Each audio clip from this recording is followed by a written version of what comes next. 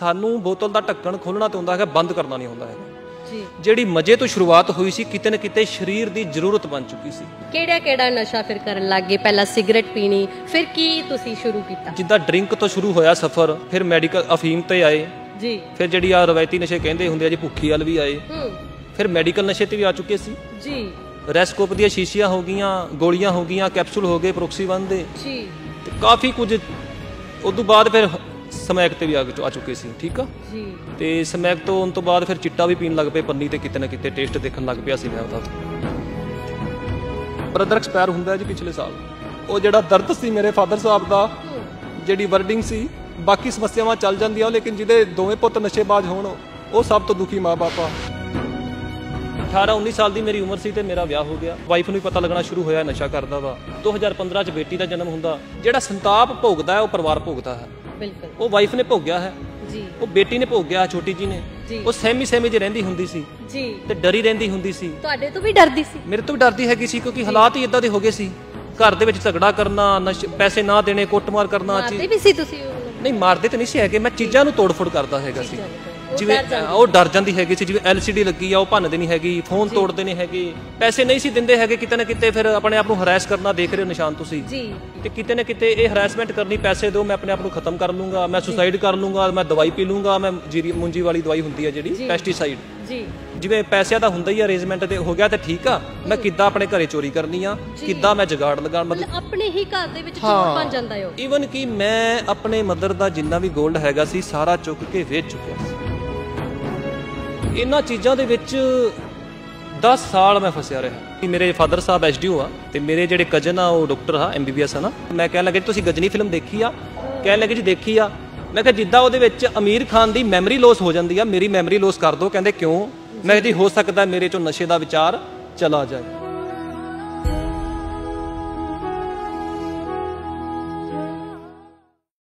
ਚੋਪੜੀ ਨੂੰ ਛੱਡ ਭਾਵੇਂ ਰੁੱਖੀ ਤੂੰ ਖਵਾਈ ਪੁੱਤ ਨਾ ਕਿਸੇ ਦਾ ਰੱਬਾ ਨਸ਼ੇ ਵਿੱਚ ਲਾਈ। ਪੁੱਤ ਨਾ ਕਿਸੇ ਦਾ ਰੱਬਾ ਨਸ਼ੇ ਵਿੱਚ ਲਾਈ। ਸਤਿ ਸ਼੍ਰੀ ਅਕਾਲ ਦਰਸ਼ਕੋ, ਤੁਸੀਂ ਦੇਖ ਰਹੇ ਹੋ ਰੋਜ਼ਾਨਾ ਸਪੋਕਸਮੈਨ ਟੀਵੀ ਤੇ ਮੈਂ ਹਰਜੀਤ ਕੌਰ। ਤੁਸੀਂ ਦੇਖ ਸਕਦੇ ਹੋ ਵੀ ਕਿਸ ਤਰੀਕੇ ਦੇ ਨਾਲ ਪੰਜਾਬ ਤੇ ਹਰਿਆਣੇ ਦੀ ਜੇ ਗੱਲ ਕਰਦੇ ਆ ਕਿ ਨਸ਼ਾ ਘੁਣ ਵਾਂਗ ਜਵਾਨੀ ਨੂੰ ਖਾ ਰਿਹਾ। ਕਿਵੇਂ ਦੇਸ਼ ਦੇ ਵਿੱਚ ਨਸ਼ਾ ਐਂਟਰ ਹੁੰਦਾ ਆ ਤੇ ਨੌਜਵਾਨਾਂ ਨੂੰ ਨਸ਼ੇ ਦੀ ਦਲਦਲ ਦੇ ਵਿੱਚ ਤਾਂ ਲੈ ਕੇ ਜਾਂਦਾ, ਪਰ ਕਈ ਘਰਾਂ ਨੂੰ ਵੀ ਉਜਾੜ ਦਿੰਦਾ। ਮਾਵਾਂ ਦੇ ਪੁੱਤ ਉਜੜ ਜਾਂਦੇ ਨੇ ਤੇ ਮਾਵਾਂ ਵਿਲਕਦੀਆਂ ਰਹਿ ਜਾਂਦੀਆਂ ਨੇ। ਅੱਜ ਅਸੀਂ ਨਸ਼ੇ ਤੇ ਹੀ ਗੱਲ ਕਰਾਂਗੇ। ਸਾਡੇ ਨਾਲ ਵੀਰ ਜਗਮੀਤ ਸਿੰਘ ਮੌਜੂਦ ਹੈ, ਜਿਹੜੇ ਖੁਦ ਨਸ਼ੇ ਦੇ ਦਲ ਦੇ, ਦਲਦਲ ਦੇ ਵਿੱਚੋਂ ਨਿਕਲੇ ਨੇ। 10 ਸਾਲ ਦੇ ਵਿੱਚ ਅਜਿਹਾ ਕੋਈ ਨਸ਼ਾ ਨਹੀਂ ਹੋਊਗਾ, ਜਿਹੜਾ ਇਹਨਾਂ ਨੇ ਨਾ ਕੀਤਾ ਹੋਵੇ। ਤਾਂ ਅੱਜ ਜਦੋਂ ਨਸ਼ੇ ਦੇ ਵਿੱਚੋਂ ਨਿਕਲਦੇ ਨੇ ਤੇ ਕਈ ਲੋਕਾਂ ਲਈ ਪ੍ਰੇਰਨਾ ਸਰੋਤ ਵੀ ਬਣਦੇ ਨੇ। ਇੱਥੇ ਹੀ ਬਸ ਨੇ, ਇੱਥੋਂ ਤੱਕ ਕਿ ਕਈ ਮੀਟਿੰਗਾਂ ਕਰਕੇ ਉਹਨਾਂ ਨੌਜਵਾਨਾਂ ਦੀ ਜ਼ਿੰਦਗੀ ਨੂੰ ਬਚਾਉਣ ਦੇ ਵਿੱਚ ਲੱਗੇ ਹੋਏ ਨੇ ਵੀ ਕਿਵੇਂ ਉਹ ਖੁਦ ਨਸ਼ੇ ਚੋਂ ਨਿਕਲੇ ਨੇ ਤੇ ਅੱਜ ਜਿਸ ਨਸ਼ੇ ਦੇ ਵਿੱਚ ਰਹਿ ਕੇ ਉਹਨਾਂ ਨੇ ਉਸ ਜ਼ਿੰਦਗੀ ਬਤੀਤ ਕੀਤੀ, ਤਾਂ ਇਹੀ ਆਸ ਕਰਦੇ ਨੇ ਕਿ ਵਾਹਿਗੁਰੂ ਇਹੋ ਜਿਹੀ ਜ਼ਿੰਦਗੀ ਕਿਸੇ ਨੂੰ ਨਾ ਦੇਵੇ। ਕਿਉਂਕਿ ਬੜਾ ਦੁੱਖ ਵੀ ਹੋਇਆ ਆ ਵੀ ਉਸ ਨਸ਼ੇ ਦੇ ਨੇ ਨਾ- ਨਾਲ ਇਹਨਾਂ ਦੇ ਘਰ ਵੀ ਉਜੜਿਆ। ਪਤਨੀ ਛੱਡ ਕੇ ਚਲੀ ਜਾਂਦੀ ਹੈ, ਇੱਕ ਬੱਚੀ ਹੈ, ਜਿਹੜੀ ਉਹ ਵੀ ਕਿਤੇ ਨਾ ਕਿਤੇ ਦੂਰ ਹੋ ਜਾਂਦੀ ਹੈ ਵੀਰ ਦੇ ਕੋਲੋਂ। ਪਰ ਉਸ ਚੀਜ਼ ਨੂੰ ਮਹਿਸੂਸ ਕਰਕੇ ਜਦੋਂ ਉਸ ਦਲ ਦਲ ਦਲ ਚੋਂ ਨਿਕਲ ਗਏ ਨਾ, ਤੇ ਅੱਜ ਮੀਟਿੰਗਾਂ ਕਰਕੇ, ਰੈਲੀਆਂ ਕਰਕੇ ਹੋਰ ਨੌਜਵਾਨਾਂ ਨੂੰ ਵੀ ਨਸ਼ੇ ਤੋਂ ਦੂਰ ਰਹਿਣ ਲਈ ਪ੍ਰੇਰਣਾ ਦੇ ਰਹੇ ਨੇ। ਸੋ ਇਸੇ ਹੀ ਪ੍ਰੇਰਣਾ ਦੀ ਕਹਾਣੀ ਅੱਜ ਤੁਹਾਡੇ ਨਾਲ ਸਾਂਝੀ ਕਰਾਂਗੇ ਵੀਰ ਜਗਮੀਤ ਜੀ ਦੀ। ਜਿਹੜੇ ਅੱਜ ਤੁਸੀਂ ਦੇਖ ਸਕਦੇ ਹੋ ਕਿੰਨੇ ਸੋਹਣੇ ਸਾਬਤ ਸੂਰਤ ਵਿੱਚ ਹੈਗੇ ਨੇ ਤੇ ਹਜੇ ਵੀ ਕਿਤੇ ਨਾ ਕਿਤੇ ਉਹ ਨਿਸ਼ਾਨ ਜ਼ਰੂਰ ਇਹਨਾਂ ਦੇ ਥੋੜੇ ਹੱਥਾਂ ਤੇ ਜੋ ਇਹਨਾਂ ਨੇ ਕੀਤਾ ਸੀ। ਉਹ ਦੇਖ ਵੀ ਸਕਦੇ ਹੋ ਬਾਹਾਂ ਕਿਵੇਂ ਇਹਨਾਂ ਦੀਆਂ ਵਿੰਨੀਆਂ ਹੋਈਆਂ ਸੀ। ਉਹ ਨਿਸ਼ਾਨ ਇੱਥੇ ਪਏ ਨੇ ਪਰ ਵੀਰ ਦੀ ਜ਼ਿੰਦਗੀ ਅੱਜ ਦੂਜਿਆਂ ਨੂੰ ਵੀ ਚਾਨਣ ਕਰ ਰਹੀ ਹੈ। ਸੋ ਗੱਲਬਾਤ ਕਰਨ ਤੋਂ ਪਹਿਲਾਂ ਸਵਾਗਤ ਕਰਦੇ ਹਾਂ ਰੋਜ਼ਾਨਾ ਸਪੋਕਸਮੈਨ ਤੇ। ਵਾਹਿਗੁਰੂ ਜੀ ਕਾ ਖਾਲਸਾ ਵਾਹਿਗੁਰੂ ਜੀ ਕੀ ਫਤਿਹ। ਜਗਮੀਤ ਭਾਜੀ ਪਹਿਲਾਂ ਤਾਂ ਅਸੀਂ ਸ਼ੁਰੂਆਤੀ ਤੁਹਾਡੀ ਜ਼ਿੰਦਗੀ ਦੀ ਗੱਲ ਕਰਨਾ ਚਾਹੁੰਦੇ ਆ ਕਿਵੇਂ ਦੀ ਤੁਹਾਡੀ ਜ਼ਿੰਦਗੀ ਸੀ? ਨਸ਼ੇ ਨੇ ਤੁਹਾਨੂੰ ਕਿਵੇਂ ਆਪਣੇ ਲਪੇਟ ਚ ਲੈ ਲਿਆ? ਤੇ ਪਹਿਲਾਂ ਤਾਂ ਜੀ ਮੈਂ ਬਹੁਤ-ਬਹੁਤ ਤੁਹਾਡਾ ਧੰਨਵਾਦ ਕਰਦਾ ਹਾਂ ਰੋਜ਼ਾਨਾ ਸਪੈਕਸਮੈਨ ਅਦਾਰੇ ਦਾ। ਜੀ। ਜਿਹੜੇ ਇਸ ਮੁੱਦੇ ਤੇ ਗੰਭੀਰ ਵਿਸ਼ੇ ਮੁੱਦਿਆਂ ਨੂੰ ਚੱਕ ਰਹੇ ਆ ਸਮਾਜ ਖਾਸ ਦੇ ਤੌਰ ਲਈ। ਤੇ ਸਾਡੀ ਇੱਕ ਸਪੋਕਸਮੈਨ ਸੱਤ ਬਣੀ ਹੋਈ ਹੈ ਜਿਹੜੀ ਨਸ਼ਿਆਂ ਦੇ ਵਿਰੁੱਧ ਪਿੰਡਾਂ-ਪਿੰਡਾਂ ਵਿੱਚ ਜਾ ਕੇ ਗੱਲ ਕਰ ਹਾਂਜੀ ਹਾਂਜੀ। ਤੇ ਬਹੁਤ-ਬਹੁਤ ਮੈਂ ਤੁਹਾਡਾ ਧੰਨਵਾਦ ਕਰਦਾ ਹਾਂ ਜੀ। ਤੇ ਮੈਂ ਆਪਣੀ ਜ਼ਿੰਦਗੀ ਦੀ ਗੱਲ ਕਰਾਂ ਤੇ ਜਦੋਂ ਮੈਂ ਸਕੂਲਿੰਗ ਦੇ ਵਿੱਚ ਕਾਫੀ ਮੇਰੇ ਫਾਦਰ ਸਾਹਿਬ ਐਸਡੀਓ ਆ। ਜੀ। ਤੇ ਐਜੂਕੇਟਿਡ ਫੈਮਿਲੀ ਆ। ਓਕੇ। ਤੇ ਮੇਰੇ ਜਿਹੜੇ ਕਜ਼ਨ ਆ ਉਹ ਡਾਕਟਰ ਆ ਐਮਬੀਬੀਐਸ ਆ ਨਾ। ਜੀ। ਤੇ ਕਾਫੀ ਅੱਛਾ ਨਾਮ ਸੀ ਤੇ ਕਿਤੇ ਨਾ ਕਿਤੇ ਮੇਰੇ ਵੀ ਹੈਗਾ ਸੀ ਮੇਰੇ ਫਾਦਰ ਸਾਹਿਬ ਨੂੰ ਹੈਗਾ ਸੀ ਮੇਰੇ ਬੱਚੇ ਵੀ ਕਿਤੇ ਪੜ੍ਹ ਲਿਖ ਕੇ ਵਧੀਆ ਜੀ। ਗਜ਼ਟਿਡ ਆਫੀਸਰ ਜੀ। ਬਣਨ ਹਨਾ। ਤੁਹਾਡੇ ਪ੍ਰਤੀ ਵੀ ਸੁਪਨਾ ਰੱਖਿਆ ਸੀ ਹਾਂ ਮੇਰੇ ਪ੍ਰਤੀ ਵੀ ਜ਼ਰੂਰ ਸੁਪਨਾ ਰੱਖਿਆ ਹੈਗਾ ਸੀ। ਹੁੰਦਾ ਹੀ ਆ ਮਾਪੇ ਨੂੰ ਹੁੰਦਾ ਹੀ ਆ। ਤੇ ਉਸ ਤੋਂ ਬਾਅਦ ਕੀ ਹੁੰਦਾ ਹੈ ਸਕੂਲਿੰਗ ਤੱਕ ਠੀਕ ਹੁੰਦਾ ਸਭ ਕੁਝ। ਜਿਵੇਂ ਹੀ ਮੈਂ ਕਾਲਜ ਦੇ ਵਿੱਚ ਜਾਣਾ ਹੈਗਾ ਤੇ ਉੱਥੇ ਕਿਤੇ ਨਾ ਕਿਤੇ ਆਪਸ ਦੇ ਵਿੱਚ ਜਿਵੇਂ ਕਹਿੰਦੇ ਹੁੰਦੇ ਆ ਉਮਰ ਹੀ ਇਦਾਂ ਦੀ ਹੁੰਦੀ ਆ ਕੁਝ। ਹੂੰ ਆਪਸ ਦੇ ਵਿੱਚ ਹੌਲੀ ਹੌਲੀ ਜਿਹੜੀ ਯਾਰ ਦੋਸਤ ਹੁੰਦੇ ਆ 4 5 7 ਜਣੇ ਆਪਸ ਵਿੱਚ ਬੈਠਣ ਲੱਗ ਪਏ। ਕੁਝ ਮਾਹੌਲ ਇਦਾਂ ਦਾ ਹੁੰਦਾ ਸਿਰਜਾ ਹੁੰਦਾ। ਫਿਲਮਾਂ ਦੇ ਵੱਲੋਂ ਗਾਣਿਆਂ ਦੇ ਵੱਲੋਂ ਪ੍ਰਮੋਟ ਕੀਤਾ ਜਾਂਦਾ ਜਿਵੇਂ। ਨਸ਼ੇ ਨੂੰ। ਜਿਵੇਂ ਤੁਸੀਂ ਆਮ ਹੁੰਦਾ ਅੱਜ ਕੱਲ ਗਾਣਿਆਂ ਦੇ ਵਿੱਚ ਨਸ਼ਾ ਆਮ ਆ। ਜਿਵੇਂ ਐਡਵਰਟਾਈਜ਼ਮੈਂਟ ਐਡਵਰਟਾਈਜ਼ਮੈਂਟ ਆ ਉਹ ਜਿਵੇਂ ਸਿਗਰਟਾਂ ਪੀਂਦੇ ਹੁੰਦੇ ਸੀ ਉਹ ਸਾਡੇ ਜਿਹੜੇ ਐਕਟਰ ਹੁੰਦੇ ਸੀ। ਸ਼ਾਨ ਸੇ ਪੀਓ ਜੀਓ ਜਾਨ ਜ਼ਿੰਦਗੀ ਜੀਓ ਜਾਨ ਸੇ ਔਰ ਸ਼ਾਨ ਸੇ ਪੀਓ। ਉਹ ਕਿਤੇ ਨਾ ਕਿਤੇ ਚੀਜ਼ਾਂ ਖਿੱਚਦੀਆਂ ਸੀ। ਹੂੰ। ਅਸੀਂ ਵੀ ਦੇਖਦੇ ਸੀ ਜੇ ਸਾਡੇ ਹੀਰੋ ਇਹ ਗੱਲਾਂ ਇਹ ਚੀਜ਼ਾਂ ਵਰਤ ਸਕਦੇ ਆ ਤੇ ਟਸ਼ਨ ਵਿੱਚ ਰਹਿੰਦੇ ਆ ਤੇ ਅਸੀਂ ਵੀ ਟਸ਼ਨ ਵਾਲੀ ਫੀਲਿੰਗ ਲਈਏ। ਜੀ। ਤੇ ਇਦਾਂ ਹੀ ਹੁੰਦਾ ਗਿਆ ਤਾਂ ਇਸੇ ਹੀ ਤਰ੍ਹਾਂ ਜਦੋਂ ਹੌਲੀ ਹੌਲੀ ਪਹਿਲਾਂ ਅਸੀਂ ਡਰਿੰਕ ਕਰਨੀ ਸ਼ੁਰੂ ਕੀਤੀ ਹੈਗੀ ਢਾਣੀਆਂ 'ਚ ਬੈਠ ਕਿੰਨੇ ਸਾਲ ਦੀ ਉਮਰ ਸੀ ਤੁਹਾਡੀ? ਉਮਰ ਰਹੀ ਹੋਣੀ ਹੈ 18 ਕੁ ਸਾਲ ਦੀ ਜੀ। ਜਦੋਂ ਸ਼ੁਰੂ ਹੋਈ। ਤੇ ਡਰਿੰਕ ਕਰਨੀ ਸ਼ੁਰੂ ਕੀਤੀ ਹੈਗੀ ਉਸ ਤੋਂ ਬਾਅਦ ਫਿਰ ਹੌਲੀ ਹੌਲੀ ਹੌਲੀ ਹੌਲੀ ਸੋਸ਼ਲ ਡਰਿੰਕਰ ਬਣ ਗਏ। ਮਤਲਬ ਪੜਦਿਆਂ ਪੜਦਿਆਂ ਹੀ ਪੜਦੇ ਆ ਪੜਦੇ ਹਾਂਜੀ। ਜੀ। ਫਿਰ ਹੌਲੀ ਹੌਲੀ ਹੈਵੀ ਡਰਿੰਕਰ ਬਣ ਗਏ। ਹਫ਼ਤੇ ਦੇ ਵਿੱਚ ਜਿਵੇਂ ਪਹਿਲਾਂ ਕਦੀ ਕਦਾਰ ਪੀਂਦੇ ਸੀ ਤੇ ਫਿਰ ਹੌਲੀ ਹੌਲੀ ਫਿਰ ਹਫ਼ਤੇ ਦੇ ਵਿੱਚ ਦੋ ਦਿਨ, ਫਿਰ ਚਾਰ ਦਿਨ। ਫਿਰ ਐਸੀ ਤਰ੍ਹਾਂ ਇੱਕ ਹੋਰ ਜਿਵੇਂ ਮਤਲਬ ਪੁਆਇੰਟ ਹੁੰਦਾ ਹੈ ਜ਼ਿੰਦਗੀ ਦੇ ਵਿੱਚ, ਇੱਕ ਮੇਰੇ ਵਰਗਾ ਹੀ ਹਨਾ, ਲਗਾ ਲਓ ਵੀ ਸਾਡੇ ਨਾਲ ਹੀ ਹੁੰਦਾ ਸੀ, ਬੈਠਦਾ ਹੁੰਦਾ ਸੀ। ਉਹ ਮੈਨੂੰ ਕਹਿਣ ਲੱਗਾ ਵੀ ਚਲੋ ਯਾਰ ਆਪਾਂ ਲਿਕੁਇਡ ਸਬਸਟੈਂਸ ਯੂਜ਼ ਕਰਦੇ ਆ ਡਰਿੰਕ ਕਿੰਨਾ, ਕਰਦੇ ਹੈਗੇ ਆ, ਸ਼ਰਾਬ ਪੀਂਦੇ ਹੈਗੇ ਆ ਤੇ ਆਪਾਂ ਕਿਉਂ ਨਾ ਸੁੱਕਾ ਨਸ਼ਾ ਟਰਾਈ ਕਰਕੇ ਦੇਖੀਏ ਨਾ ਹੀ ਮੂੰਹ ਚੋਂ ਬਦਬੂ ਆਊਗੀ ਤੇ ਨਾ ਹੀ ਕੁਝ ਹੋਰ ਹੋਊਗਾ ਵਧੀਆ ਨਾ ਪਤਾ ਲੱਗੂ ਕਿਸੇ ਨੂੰ। ਮਤਲਬ ਫਰੈਂਡ ਸਰਕਲ ਵੀ ਇਦਾਂ ਦਾ ਹੋ ਗਿਆ ਸੀ ਤਾਂ ਉਹ ਇਸ ਤਰੀਕੇ ਦੇ ਨਾਲ ਤੁਹਾਨੂੰ ਅੱਗੇ ਪ੍ਰੇਰਿਤ ਕਰਦੇ ਸੀ। ਹੁਣ ਇਹ ਕਰੀਏ। ਇਹ ਕਰੀਏ। ਤੇ ਜੀ। ਇਦਾਂ ਹੀ ਜੀ ਜਿਹੜਾ ਪਹਿਲਾ ਨਸ਼ਾ ਲਿਆ ਉਦੋਂ ਉਹ ਪਹਿਲਾ ਨਸ਼ਾ ਲਿਆ ਮੈਨੂੰ ਦਿਨ ਯਾਦ ਆ ਜੀ 8 ਅਕਤੂਬਰ 2012 ਜੀ। ਤੇ ਪਹਿਲਾ ਨਸ਼ਾ ਲਿਆ ਤੇ ਉਸ ਤੋਂ ਬਾਅਦ ਉਹ ਕਿਤੇ ਨਾ ਕਿਤੇ ਫੀਲਿੰਗ ਤੇ ਆਈ ਜਿਹੜੀ ਭਾਲਦੇ ਸੀ ਅਸੀਂ ਉਹ ਮਜ਼ੇ ਵਾਲੀ। ਹਨਾ? ਉਹ ਕਹਿੰਦੇ ਹੁੰਦੇ ਨਾ ਵੀ ਪਹਿਲਾ ਪਿਆਰ ਪਹਿਲਾ ਨਸ਼ਾ ਹੀ ਬੜਾ ਖਤਰਨਾਕ ਹੁੰਦਾ। ਹੈ। ਉਹ ਜਿਵੇਂ ਬੋਡੀ ਦੇ ਵਿੱਚ ਗਿਆ ਤੇ ਕਿਤੇ ਨਾ ਕਿਤੇ ਉਹ ਫੀਲਿੰਗ ਆਈ ਹਨਾ? ਤੇ ਇਸੇ ਤਰ੍ਹਾਂ ਹੌਲੀ ਹੌਲੀ ਕਰਦੇ ਜਿਵੇਂ ਪਹਿਲਾਂ ਫਿਰ 2 ਦਿਨ ਬਾਅਦ ਗੈਪ ਪਾ ਕੇ ਲੈਣ ਲੱਗ ਪਏ ਫਿਰ 3 ਦਿਨ ਬਾਅਦ ਜੀ ਫਿਰ 4 ਦਿਨ ਬਾਅਦ ਫਿਰ ਹੌਲੀ ਹੌਲੀ ਕਿਤੇ ਨਾ ਕਿਤੇ ਉਹ ਰੋਜ਼ਾਨਾ ਹੀ ਸਾਡੀ ਮੇਰੀ ਜ਼ਿੰਦਗੀ ਦਾ ਅੰਗ ਬਣ ਚੁੱਕਿਆ ਸੀ। ਜੀ। ਜਿਹੜੀ ਮਜ਼ੇ ਤੋਂ ਸ਼ੁਰੂਆਤ ਹੋਈ ਸੀ ਕਿਤੇ ਨਾ ਕਿਤੇ ਸਰੀਰ ਦੀ ਜ਼ਰੂਰਤ ਬਣ ਚੁੱਕੀ ਸੀ। ਜੀ। ਤੇ ਆਦਤ ਲੱਗ ਆਦਤ ਲੱਗ ਚੁੱਕੀ ਸੀ। ਤੇ ਛੋਟੇ ਜੇ ਉਹ ਤੋਂ ਮਤਲਬ ਅਫੀਮ ਤੋਂ ਜਿਹੜੇ ਸਾਡੇ ਰਵਾ- ਰਵਾਇਤੀ ਨਸ਼ੇ ਵੀ ਕਹਿ ਦਿੰਦੇ ਆ ਸਾਡੇ ਬਜ਼ੁਰਗ। ਹਨਾ? ਤੇ ਮੈਂ ਤੇ ਉਹ ਵੀ ਚੀਜ਼ ਗਲਤ ਹੈਗੀ ਯਾਰ ਰਵਾਇਤੀ ਨਸ਼ੇ ਨਸ਼ਾ ਨਸ਼ਾ ਹੀ ਹੁੰਦਾ ਕੋਈ ਰਵਾਇਤੀ ਜਾਂ ਕੋਈ ਕਿਹੜਾ ਕਿਹੜਾ ਨਸ਼ਾ ਫਿਰ ਕਰਨ ਲੱਗ ਗਏ? ਪਹਿਲਾਂ ਸਿਗਰਟ ਪੀਣੀ ਫਿਰ ਕੀ ਤੁਸੀਂ ਸ਼ੁਰੂ ਕੀਤਾ? ਜਿੱਦਾਂ ਡਰਿੰਕ ਤੋਂ ਸ਼ੁਰੂ ਹੋਇਆ ਸਫ਼ਰ ਫਿਰ ਮੈਡੀਕਲ ਅਫੀਮ ਤੇ ਆਏ। ਜੀ। ਫਿਰ ਜਿਹੜੀ ਆ ਰਵਾਇਤੀ ਨਸ਼ੇ ਕਹਿੰਦੇ ਹੁੰਦੇ ਆ ਜੀ ਭੁੱਖੀ ਵਾਲ ਵੀ ਆਏ। ਫਿਰ ਮੈਡੀਕਲ ਨਸ਼ੇ ਤੇ ਵੀ ਆ ਚੁੱਕੇ ਸੀ। ਜੀ। ਰੈਸਕੋਪ ਦੀਆਂ ਸ਼ੀਸ਼ੀਆਂ ਹੋ ਗਈਆਂ ਗੋਲੀਆਂ ਹੋ ਗਈਆਂ ਕੈਪਸੂਲ ਹੋ ਗਏ ਪ੍ਰੋਕਸੀਵਨ ਦੇ। ਜੀ। ਤੇ ਕਾਫੀ ਕੁਝ ਉਸ ਤੋਂ ਬਾਅਦ ਫਿਰ ਸਮੈਕ ਤੇ ਵੀ ਆ ਆ ਚੁੱਕੇ ਸੀ ਠੀਕ ਆ? ਜੀ। ਤੇ ਸਮੈਕ ਤੋਂ ਆਉਣ ਤੋਂ ਬਾਅਦ ਫਿਰ ਚਿੱਟਾ ਵੀ ਪੀਣ ਲੱਗ ਪਏ ਪੰਨੀ ਤੇ ਕਿਤੇ ਨਾ ਕਿਤੇ ਟੇਸਟ ਦੇਖਣ ਲੱਗ ਪਿਆ ਸੀ ਮੈਂ ਉਹਦਾ ਵੀ। ਤੇ ਹੌਲੀ ਹੌਲੀ ਚੀਜ਼ਾਂ ਵੱਧਦੀਆਂ ਗਈਆਂ ਵੱਧਦੀਆਂ ਗਈਆਂ ਕਿੰਨਾ ਵੱਧਦੀਆਂ ਸਮਾਂ ਗਈਆਂ। ਲੱਗ ਗਿਆ ਫਿਰ ਇਸਨਾਂ ਚੀਜ਼ਾਂ ਦੇ ਵਿੱਚ? ਇਹਨਾਂ ਚੀਜ਼ਾਂ ਦੇ ਵਿੱਚ 10 ਸਾਲ ਮੈਂ ਫਸਿਆ ਰਿਹਾ। ਜੀ। ਬਿਲਕੁਲ 10 ਸਾਲ ਮੈਂ ਫਸਿਆ ਰਿਹਾ ਤੇ ਮੈਂ ਨਿਕਲ ਨਹੀਂ ਪਾਇਆ। ਨਿਕਲਣਾ ਚਾਹ ਵੀ ਰਿਹਾ ਸੀ ਤੇ ਨਿਕਲ ਨਹੀਂ ਪਾਇਆ ਹੈਗਾ। ਤੇ ਇਦਾਂ ਹੀ ਜਿਵੇਂ ਕਾਫੀ ਕੁਝ ਆਇਆ ਉਤਾਰ ਚੜਾਅ ਜ਼ਿੰਦਗੀ ਨੇ ਉਹ ਨਸ਼ੇ ਨੇ ਉਹ ਮਜ਼ੇ ਨੇ ਉਹ ਜਿਹੜਾ ਪਹਿਲਾ ਮਜ਼ਾ ਲਿਆ ਸੀ ਜੀ। 8 ਅਕਤੂਬਰ 2012 ਦਾ ਦਿਨ। ਉਸਨੇ ਉਹ ਤਰਾਸਦੀ ਦਿਖਾਈ ਮੇਰੀ ਜ਼ਿੰਦਗੀ ਦੇ ਵਿੱਚ। ਉਹ ਕਿਤੇ ਨਾ ਕਿਤੇ ਉਹ ਬੜੀਆਂ ਗੱਲਾਂ ਅੱਜ ਵੀ ਆ ਜ਼ਖਮ ਹੈਗੇ ਆ ਕਿਤੇ ਨਾ ਕਿਤੇ। ਹੂੰ। ਉਹਨਾਂ ਦੀ ਸ਼ਾਦੀ ਹੁੰਦੀ ਆ ਜੀ। ਇਹੀ ਹੁੰਦਾ ਜੀ ਵੀ ਚਲੋ 19 20 ਸਾਲ ਦਾ ਸੀ ਸਾਡੇ ਚ ਬੜੀ ਬਜ਼ੁਰਗਾਂ ਚ ਵੀ ਚਲੋ ਕਿਤੇ ਨਾ ਕਿਤੇ ਗੱਲ ਹੈਗੀ ਆ ਵੀ ਰਿਸਪੌਂਸਿਬਿਲਟੀ ਹੋ ਜਾਊਗਾ ਬੰਦੇ ਦਾ ਮੈਰਿਜ ਕਰ ਦਿੰਦੇ ਆ। ਛੋਟੀ ਉਮਰੇ ਮੈਰਿਜ ਕਰ ਹਾਂਜੀ 18 19 ਸਾਲ ਦੀ ਮੇਰੀ ਉਮਰ ਸੀ ਤੇ ਮੇਰਾ ਵਿਆਹ ਹੋ ਗਿਆ। ਜੀ। ਹੌਲੀ ਹੌਲੀ ਵਾਈਫ ਵੀ ਹਨਾ ਵਾਈਫ ਨੂੰ ਵੀ ਪਤਾ ਲੱਗਣਾ ਸ਼ੁਰੂ ਹੋਇਆ ਨਸ਼ਾ ਕਰਦਾ ਵਾ। ਹੂੰ। ਤੇ ਚਲੋ ਮੌਕੇ ਵੀ ਦਿੱਤੇ ਗਏ ਹੌਲੀ ਹੌਲੀ ਫਿਰ ਬੇਟੀ ਦਾ ਜਨਮ ਹੁੰਦਾ ਹੈ 2015 ਦੇ ਵਿੱਚ 2013 ਚ ਸ਼ਾਦੀ ਹੁੰਦੀ ਆ। ਜੀ। 2015 ਚ ਬੇਟੀ ਦਾ ਜਨਮ ਹੁੰਦਾ। ਹੂੰ। ਤੇ ਉਹ ਵਾਕਈ ਹੀ ਜਿਹੜਾ ਐਡਿਕਟ ਹੁੰਦਾ ਹੈ ਉਹ ਤੇ ਆਪਣੀ ਉਹਨੂੰ ਤੇ ਪਤਾ ਹੀ ਨਹੀਂ ਹੁੰਦਾ ਕੀ ਕਰ ਰਿਹਾ ਕੀ ਨਹੀਂ। ਜੀ। ਜਿਹੜਾ ਸੰਤਾਪ ਭੋਗਦਾ ਹੈ ਉਹ ਪਰਿਵਾਰ ਭੋਗਦਾ ਹੈ। ਬਿਲਕੁਲ। ਉਹ ਵਾਈਫ ਨੇ ਭੋਗਿਆ ਹੈ। ਜੀ। ਉਹ ਬੇਟੀ ਨੇ ਭੋਗਿਆ ਛੋਟੀ ਜੀ ਨੇ। ਜਿਹੜੀ ਬੇਟੀ ਦੇ ਵਿੱਚ ਮੈਂ ਆਪਣਾ ਬਚਪਨਾ ਦੇਖਣਾ ਸੀ ਵੀ ਉਹ ਉਹਦੀ ਪਹਿਲਾ ਕਦਮ ਉਹਨੇ ਕਦੋਂ ਪੁੱਟਿਆ ਹੈਗਾ ਸੀ। ਬਿਲਕੁਲ। ਤੇ ਉਹ ਉਹ ਚ ਮੈਂ ਆਪਣਾ ਬਚਪਨਾ ਦੇਖਣਾ ਹੈਗਾ ਸੀ ਤੇ ਉਹ ਕਿਤੇ ਨਾ ਕਿਤੇ ਚੀਜ਼ਾਂ ਪਿੱਛੇ ਹੀ ਰਹਿ ਗਈਆਂ ਸੀ। ਔਰ ਧੀ ਦੇ ਵੀ ਸੁਪਨੇ ਹੁੰਦੇ ਆ ਕਿ ਬਾਪ ਸਾਡਾ ਕੰਮਕਾਰ ਕਰੇ ਸਾਡੇ ਲਈ ਕਮਾਵੇ ਸਾਡੇ ਲਈ ਕੁਝ ਬਣਾਵੇ। ਬਿਲਕੁਲ ਜੀ ਧੀ ਦੇ ਵੀ ਸੁਪਨੇ ਹੁੰਦੇ ਆ ਬੇਟੀ ਦੇ ਵੀ ਸੁਪਨੇ ਹੁੰਦੇ ਆ ਦੂਜਾ ਦੇ ਪਾਪਾ ਵਾ ਤੇ ਮੇਰੇ ਕੀ ਕਰਦੇ ਆ ਪਾਪਾ ਹਰ ਟਾਈਮ ਲੜਾਈ ਝਗੜਾ ਕਰਦੇ ਆ ਘਰੇ। ਪੈਸਿਆਂ ਵਾਸਤੇ ਲੜਾਈ ਕਰਦੇ ਆ। ਹਨਾ ਵੀ ਮੈਨੂੰ ਪੈਸੇ ਦਿਓ ਇਦਾਂ ਇਦਾਂ ਦੀ ਹਰਕਤਾਂ ਕਰਦੇ ਆ। ਉਹਦਾ ਵੀ ਬਚਣਾ ਕਿਤੇ ਨਾ ਕਿਤੇ ਇਸੇ ਹੀ ਘਰ ਦੇ ਵਿੱਚ ਕਲੇਸ਼ ਹੀ ਹੁੰਦਾ ਨਸ਼ੇ ਦੇ ਬਾਰੇ ਹਨਾ? ਉਹ ਸਹਿਮੀ ਸਹਿਮੀ ਜੇ ਰਹਿੰਦੀ ਹੁੰਦੀ ਸੀ ਜੀ। ਤੇ ਡਰੀ ਰਹਿੰਦੀ ਹੁੰਦੀ ਸੀ। ਤੁਹਾਡੇ ਤੋਂ ਵੀ ਡਰਦੀ ਸੀ? ਮੇਰੇ ਤੋਂ ਵੀ ਡਰਦੀ ਹੈਗੀ ਸੀ ਕਿਉਂਕਿ ਹਾਲਾਤ ਹੀ ਇਦਾਂ ਦੇ ਹੋ ਗਏ ਸੀ। ਘਰ ਦੇ ਵਿੱਚ ਝਗੜਾ ਕਰਨਾ ਪੈਸੇ ਨਾ ਦੇਣੇ ਕੁੱਟਮਾਰ ਕਰਨਾ ਮਾਰਦੇ ਵੀ ਸੀ ਤੁਸੀਂ ਨਹੀਂ ਮਾਰਦੇ ਤਾਂ ਨਹੀਂ ਸੀ ਹੈਗੇ। ਮੈਂ ਚੀਜ਼ਾਂ ਨੂੰ ਤੋੜਫੋੜ ਕਰਦਾ ਹੈਗਾ ਸੀ। ਜਿਵੇਂ ਉਹ ਡਰ ਜਾਂਦੀ ਹੈਗੀ ਸੀ। ਜਿਵੇਂ LCD ਲੱਗੀ ਆ ਉਹ ਭੰਨਦੇ ਨਹੀਂ ਹੈਗੀ ਫੋਨ ਤੋੜਦੇ ਨਹੀਂ ਹੈਗੇ। ਇਦਾਂ ਦੇ ਮੈਂ ਜਿਵੇਂ ਕਰਦਾ ਹੁੰਦਾ ਸੀ ਵੀ ਮੈਨੂੰ ਪੈਸੇ ਦਿਓ। ਜੀ। ਪੈਸੇ ਨਹੀਂ ਸੀ ਦਿੰਦੇ ਹੈਗੇ ਕਿਤੇ ਨਾ ਕਿਤੇ ਫਿਰ ਆਪਣੇ ਆਪ ਨੂੰ ਹਰਾਸ ਕਰਨਾ ਦੇਖ ਰਹੇ ਹੋ ਨਿਸ਼ਾਨ ਤੁਸੀਂ। ਜੀ ਇਹ ਹਰਾਸਮੈਂਟ ਆਪਣੇ ਆਪ ਨੂੰ ਕਰਦੇ ਆਪਣੇ ਸੀ ਆਪ ਨੂੰ ਹਰਾਸਮੈਂਟ ਕੀਤੀ ਜਾਣੀ ਕਿਤੇ ਨਾ ਕਿਤੇ ਵੀ ਕਾਫੀ ਜ਼ਿਆਦਾ ਹੀ ਡੂੰਘੇ ਫੱਟ ਸੀਗੇ ਹਾਂਜੀ ਇਹ ਸਾਰੇ ਦੇ ਸਾਰੇ ਨਸ਼ੇ ਦੇ ਦੌਰਾਨ ਆ। ਜੀ। ਤੇ ਕਿਤੇ ਨਾ ਕਿਤੇ ਇਹ ਹਰਾਸਮੈਂਟ ਕਰਨੀ ਪੈਸੇ ਦਿਓ ਮੈਂ ਆਪਣੇ ਆਪ ਨੂੰ ਖਤਮ ਕਰ ਲੂੰਗਾ ਮੈਂ ਸੁਸਾਈਡ ਕਰ ਲੂੰਗਾ ਮੈਂ ਦਵਾਈ ਪੀ ਲੂੰਗਾ ਮੈਂ ਜੀਰੀ ਮੁੰਜੀ ਵਾਲੀ ਦਵਾਈ ਹੁੰਦੀ ਹੈ ਜਿਹੜੀ ਪੈਸਟੀਸਾਈਡ ਜੀ। ਤੇ ਇਦਾਂ ਸਾਰੀਆਂ ਹਰਕਤਾਂ ਕਰਦੇ ਰਹੇ ਹਨਾ? ਕਿਉਂਕਿ ਉਦੋਂ ਪਤਾ ਨਹੀਂ ਸੀ ਹੈਗਾ ਵੀ ਅਸੀਂ ਕਿਸ ਚੀਜ਼ ਦੇ ਵਿੱਚ ਫਸੇ ਹੋਏ ਆ। ਜੀ। ਤੇ ਹੌਲੀ ਹੌਲੀ ਹੌਲੀ ਹੌਲੀ ਅੱਗੋਂ ਇੱਕ ਮੋੜ ਉਹ ਵੀ ਆਇਆ। ਹੂੰ। 2020 ਦਾ ਮੋੜ ਆਇਆ ਜਦੋਂ ਵਾਈਫ ਨੇ ਕਾਫੀ ਚਾਂਸ ਵੀ ਦਿੱਤੇ ਹੈਗੇ ਮੌਕੇ ਵੀ ਦਿੱਤੇ ਹੈਗੇ ਹਨਾ? ਤੇ ਇੱਕ ਮੋੜ ਉਹ ਹੁੰਦਾ ਹੈਗਾ ਜਦੋਂ ਬੰਦੇ ਦੀ ਬੱਸ ਵੀ ਹੋ ਜਾਂਦੀ ਹੈ। ਬੱਸ ਹੁੰਦੀ ਆ ਤੇ ਪਰਿਵਾਰ ਸੈਪਰੇਟ ਹੁੰਦਾ। ਜੀ। ਜਿਹੜੀ ਬੇਟੀ ਨੂੰ ਕਿਤੇ ਨਾ ਕਿਤੇ ਬੇਟੀ ਬੇਟੀ ਦਾ ਜਦੋਂ ਦੂਰ ਹੁੰਦੀ ਆ ਮੇਰੇ ਤੋਂ ਜੀ। ਹਨਾ? ਉਹ ਉਹ ਬੜਾ ਹੀ ਯਾਰ ਦਰਦ ਕਿਤੇ ਨਾ ਕਿਤੇ ਦਿਲ ਦੇ ਵਿੱਚ ਰਹਿ- ਰਿਹਾ ਮੇਰੇ ਹੈਗਾ ਵਾ। ਜੀ। ਵੀ ਇਹ ਯਾਰ ਕੀ ਹੋ ਗਿਆ ਯਾਰ ਜਗਮੀਤ? ਇੰਨੀ ਯਾਰ ਤੂੰ ਤੇ ਮਜ਼ੇ ਵਾਸਤੇ ਸ਼ੁਰੂ ਕੀਤਾ ਸੀ ਇਹ ਮਜ਼ਾ ਸਜ਼ਾ ਕਿੱਥੋਂ ਬਣ ਚੁੱਕਿਆ? ਬਿਲਕੁਲ ਉਹ ਸਜ਼ਾ ਬਣ ਗਿਆ ਸਜ਼ਾ ਬਣ ਗਿਆ ਸੀ ਜਿਹੜਾ ਪਹਿਲੇ ਮਜ਼ੇ ਵਾਸਤੇ ਸ਼ੁਰੂ ਕੀਤਾ ਹੈਗਾ ਸੀ। ਉਸ ਤੋਂ ਬਾਅਦ ਜਿਵੇਂ ਜਿਵੇਂ ਅੱਗੇ ਵੱਧਦੇ ਹਾਂ ਤੇ ਉਸ ਤੋਂ ਬਾਅਦ ਵੀ ਮੈਂ ਨਸ਼ਾ ਲੈ ਰਿਹਾ ਸੀ। ਜਿਸ ਤਰ੍ਹਾਂ ਤੁਸੀਂ ਕਿਹਾ ਵੀ ਦਲਦਲ ਦੇ ਵਿੱਚ ਫਸ ਜਾਣਾ ਮਜੇ ਤੋਂ ਸਜ਼ਾ ਮਿਲ ਜਾਂਦੀ। ਹੈ। ਪਰ ਉਹ ਇਹ ਕਿਵੇਂ ਦੇ ਨੌਜਵਾਨ ਸਜ਼ਾ 'ਚ ਫਸ ਜਾਂਦੇ ਨੇ? ਕਿ ਨਿਕਲਣਾ ਹੀ ਮੁਸ਼ਕਲ ਹੋ ਜਾਂਦਾ ਹਾਂ। ਹੈ ਇਹ ਗੱਲ ਤੇ ਇਹ ਇਹ ਬਿਲਕੁਲ ਇਹ ਤੁਸੀਂ ਬਹੁਤ ਵਧੀਆ ਸਵਾਲ ਕੀਤਾ ਹੈ। ਇਹ ਤੇ ਚਾਨਣਾ ਪਾਣਾ ਬਹੁਤ ਜ਼ਰੂਰੀ ਆ। ਜੀ।